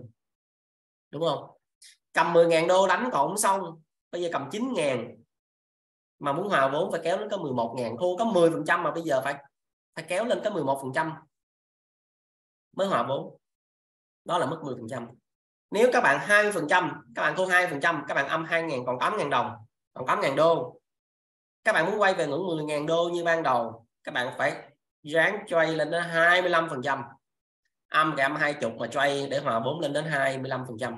Nếu nâng lên, các bạn nâng lên mức 40 10.000 âm 4.000 còn âm 40 phần trăm là 4 ngàn, còn 6 ngàn. Các bạn muốn hòa 40 ngàn, các bạn phải ráng trade lên 67 phần trăm. 67 này đâu có các bạn. 67 này đâu có. 67 này là dựa trên cái 4 ngàn trên trên 6 ngàn là 67 phần trăm đó. Cho nên các bạn đừng có âm, các bạn âm 40 là các bạn muốn hòa 4 phải 67 âm 20 là các bạn muốn hòa 4 25 nhưng nhìn nè, nếu các bạn âm 50 phần trăm, các bạn muốn hòa 4 các bạn phải x2 tài khoản. Các bạn ăn đúng không? 10 ngàn âm, âm 50 là 5 ngàn các bạn còn 5 ngàn. Bây giờ muốn hòa vốn các bạn phải x2 lên là, là 5 ngàn lãi 5 ngàn nó mới 10 ngàn mới hòa vốn. Cho nên một khi mà các bạn cầm một cái lượng tiền mình 10 ngàn đô các bạn âm 50 ngàn đô các bạn còn 5 ngàn đô tôi đố các bạn. Tôi đố các bạn luôn thách luôn các bạn các bạn trade lên được 10 ngàn đô. Đếm trên đầu ngón tay của nó ở đây năm sáu hơn 600 người ngồi nghe các bạn ai cầm 5 ngàn 10 ngàn cháy 5 ngàn mà cầm 5 ngàn đánh đến lại 10 ngàn? Tại vì cái lực coi của những cái người mà cầm 5 ngàn đánh ít hai lên nó rất là ít. Cầm 50 đô đánh lên được trăm đô thì, thì nhiều lắm à. Nhiều lắm. Hiểu không? Cho nên đối với những cái người mới vào trong thị trường marine này có theo kèo bên cái trading có channel các bạn phải làm hai điều cho tôi. Một các bạn đừng bao giờ tăng cái volume này tự bớt bury bản thân mình đừng có tăng volume này các bạn lên năng lực các bạn chưa đủ cầm mấy cầm mấy ngàn thì tự liệu cơm gấp mắm, đi ít tiền thôi. Để ra âm 50 phần trăm theo kèo x2 lên là bình thường được. Tôi còn kéo các bạn lên được. Và cô cho kèo, các bạn còn tự tin các bạn còn x2 được. Đúng không? Chứ bây giờ cô cho kèo để x2 mà các bạn các bạn đây đi 5 ngàn, các bạn sao dám gồng lên x2 không gồng được nhưng các bạn đi 50 đô, các bạn gồng được á. Ok, giờ là cái thứ nhất. Tại sao cô kêu S là mức 50 bởi vì chỉ cần vượt hơn 50 các bạn nhìn là 70.000 đô mà các bạn âm 7.000 các bạn, tức là các bạn âm 70 phần trăm. Thì lúc đó lúc đó các bạn cầm 3.000 để các bạn quay lại 10.000 các bạn phải phải đánh lên bao nhiêu? 233 phần trăm, có nghĩa là phải ít. Bao nhiêu ạ? À? ít 4 lần, ít 3 ít 3 ít 4 lần. Đúng không? Các bạn hơn ít 3 ít 4 lần nữa từ x3 đến 4 các bạn mới mới mong mong quay lại hòa vốn. Cho nên đã yếu đừng có da, da gió và đừng có để vượt qua 50 vượt qua 50 từ cái ngưỡng 50 nè. 70 âm 70 mà muốn hòa là phải muốn hòa vốn là phải 233 âm 80 phần trăm muốn hòa vốn là phải 400 phần trăm. Mà âm 90 phần trăm muốn hòa vốn là phải 900 phần trăm. Cho nên đó là lý do tại sao tôi nói các bạn trade cỡ nào trade luôn setup cho bản thân một cái mức SL50 bởi vì các bạn có bị tôi còn cứu được còn bám vô kèo ăn lại được. Chỉ cần các bạn đi volume ít thì các bạn ờ, tự các bạn gọc x2 là bình thường. Còn nếu mà các bạn vẫn giữ cái mức 50 này mà vô tình cái volume các bạn quá lớn đó so với cái năng lực bản thân của các bạn đó thì có cũng có, có cho kèo ngon các bạn có cho kèo các bạn ngon đi x2 các bạn cũng không gồng được. Ok chưa cho nên hôm nay học cái phần margin này là phải thông cái chỗ này nha. Các bạn tự quản lý vốn nha. Cô sẽ chỉ cô sẽ chỉ cô, cô chỉ có thể là chỉ những cái cách như vậy mạnh ai nấy giữ tiền, ai nấy lo, tôi muốn dính đến tiền bạc của các bạn. Các bạn tự học kiến thức đó, các bạn tự quản lý vốn, tự giữ tiền của mình. Ok chưa? Đây là ba cái phần mà tôi muốn chia sẻ các anh em. Tiếp. Sợ hôm nay không đủ giờ. Không đủ giờ, ngày mai học tiếp nha. Tiếp nữa là một cái khái niệm. Cái khái niệm này nó sẽ đã thông kinh mạch, nó sẽ thông cái tài, thông cái tư duy tài chính của các bạn. Khái niệm chúng ta phải hiểu được những cái khái niệm như làm công, làm tư, làm chủ. Cái này tôi nói bên cộng đồng cũng nhiều rồi, đúng không? Thế nào làm công? Thế nào làm công? Làm công là những cái người mà hầu như không có tiền. Cho nên họ phải chấp nhận bỏ thời gian ra họ đi làm là làm công. Tức là họ không có tiền mà họ bỏ thời gian đi làm, họ cũng không có thời gian để cho bản thân luôn. Thì những cái người mà không có tiền mà không có thời gian thì họ làm công ok chưa? À, thế nào gọi là làm tư làm tư là những cái người mà họ không họ có tiền nhưng mà họ không có thời gian. Ví dụ ví dụ bạn bạn mở một cái quán bún mắm bạn mở một cái quán kinh doanh gì đó bạn làm giám đốc nha. Bạn mở công ty luôn á cho bạn mở công ty luôn bạn chưa là chủ đâu bạn mở công ty bạn chưa là chủ. Tại sao con nói chưa là chủ? Bởi vì bạn mở công ty á là bạn có tiền nè. Đúng không? Công ty làm ăn ngon bạn tiền nhưng mà bạn không có thời gian bạn không thể nào rời bỏ công ty của các bạn được. Vậy vậy thì bạn chỉ làm hư. Bạn mở một cái quán cơm, một quán bún mắm gì đó, bạn rất là đắt khách, nổi tiếng ở quận, huyện đó. Bạn kiếm được rất nhiều tiền. Nhưng mà gia đình của các bạn, người thân các bạn bạn bè các bạn, rủ các bạn đi du lịch, bạn nói, thôi, nhà bao việc. Tao, quán tao không thể nào bỏ được. Tao nghĩ một cái, khách bỏ tao nó không đi được. Các bạn chưa là chủ. Các bạn chỉ là làm làm tư thôi. Ha. còn làm chủ là có tiền, có thời gian à mấy thằng này nó vừa có tiền mà nó vừa có thời gian nó ngồi nó zoom cộng đồng nè. Đó mấy thằng này là chủ. Mấy thằng này là tự do tài chính. Tại sao phải tôi phải nói cái này? Tôi nói cái này để cho các bạn banh con mắt của các bạn ra các bạn nhìn mấy anh thầy bà bên ngoài thằng nào mới thật sự là tự do tài chính? Hay là nó chém? Nhìn cho kỹ nó. Ok chưa? Rồi. Tự do tài chính đó, không phải là các bạn được tự do muốn làm cái gì làm muốn mua cái gì đó mua cái đó không phải là tự do tài chính mà tự do tài chính là lực quyền có thể lựa chọn không làm những cái mà mình không thích làm. Thậm chí trả tiền cho mấy thằng làm, mấy thằng đầu trâu mặt ngựa nó làm dùm cho mình những cái mà mình không thích mình làm. Nhưng mà mình vẫn muốn làm. Nhưng mà mình không muốn dơ tay. Con tiền cho nó làm. Cái đó là tự do tài chính đó. Cái đó là tự do tài chính. Tự do tài chính không phải là bạn muốn mua cái gì bạn mua, bạn muốn làm gì bạn làm, nó không phải tự do, mà tự do là bạn được quyền lựa chọn những cái mà bạn không muốn làm nhớ cái cái cái câu này nha. Nhiều người cứ đi làm tôi nói các bạn nhiều người không hiểu cái này cái cái đi làm lương em ba bốn chục triệu năm chục triệu. Em em tự do tài chính rồi. Em không cần đầu tư. Các bạn hiểu sai các bạn sai. Ờ. Cái đó là sai sai, sai, sai, sai cái đó chỉ là làm ơn thôi. Hoặc làm công thôi. Ok chưa? Rồi uh, tiếp. Đây là những cái dạng tâm lý và cảm xúc giao dịch bây giờ chắc không kịp rồi. Cái này chắc phần sau học nha. Mấy cái bài này nó cái này rất là hay. Nó gồm đến ờ, nó có học lại năm nguyên tắc dòng chảy tài chính này. cái này nó lên đến 24 điều rồi thôi cái này để mai học. Ok chưa? Cái file này ai anh em chia sẻ lên lên trên kênh của Facebook các bạn. Thì ờ, cô gửi cho cái file này. Chụp hình gửi cô gửi file này. Thôi chắc ờ, uh, ngưng ở đây trước ha. Mai chúng ta học tiếp phần sau sau dần dần mỗi ngày như vậy chúng ta nguyên tuần hôm nay là chúng ta chỉ có học về tâm lý giao dịch uh, quản lý vốn cách đi tiền gì đó. Còn phân tích kỹ thuật thì chưa. Chúng ta cứ luyện cái đó trước đi khi các bạn tẩy não được khai thông được một số cái tư duy nó thoải mái hơn. Uh, là phá băng á. Bên bọn đa cấp nó gọi là cái cái cái cái kỹ năng phá kỹ thuật phá băng nó phá băng rồi thì các bạn các bạn không còn bị đóng băng ở những cái tư duy nữa. Thì thoải mái lắm. Các bạn xoay các bạn làm gì các bạn thấy nhẹ. À. rồi thôi. Uh, thôi chắc ngưng ở đây ha chắc cũng không có câu hỏi nào, đúng không ạ? Nếu mà có thì để ngày mai luôn. Tối nay, cái bài hôm nay các bạn nên nghe lại ha. Rồi có câu hỏi nào các bạn nên nốt ra nốt ra giấy gì đó để ngày mai chúng ta tương tác với nhau, chúng ta hỏi, trao đổi với nhau. Ok. Ha thôi bye các anh em nha.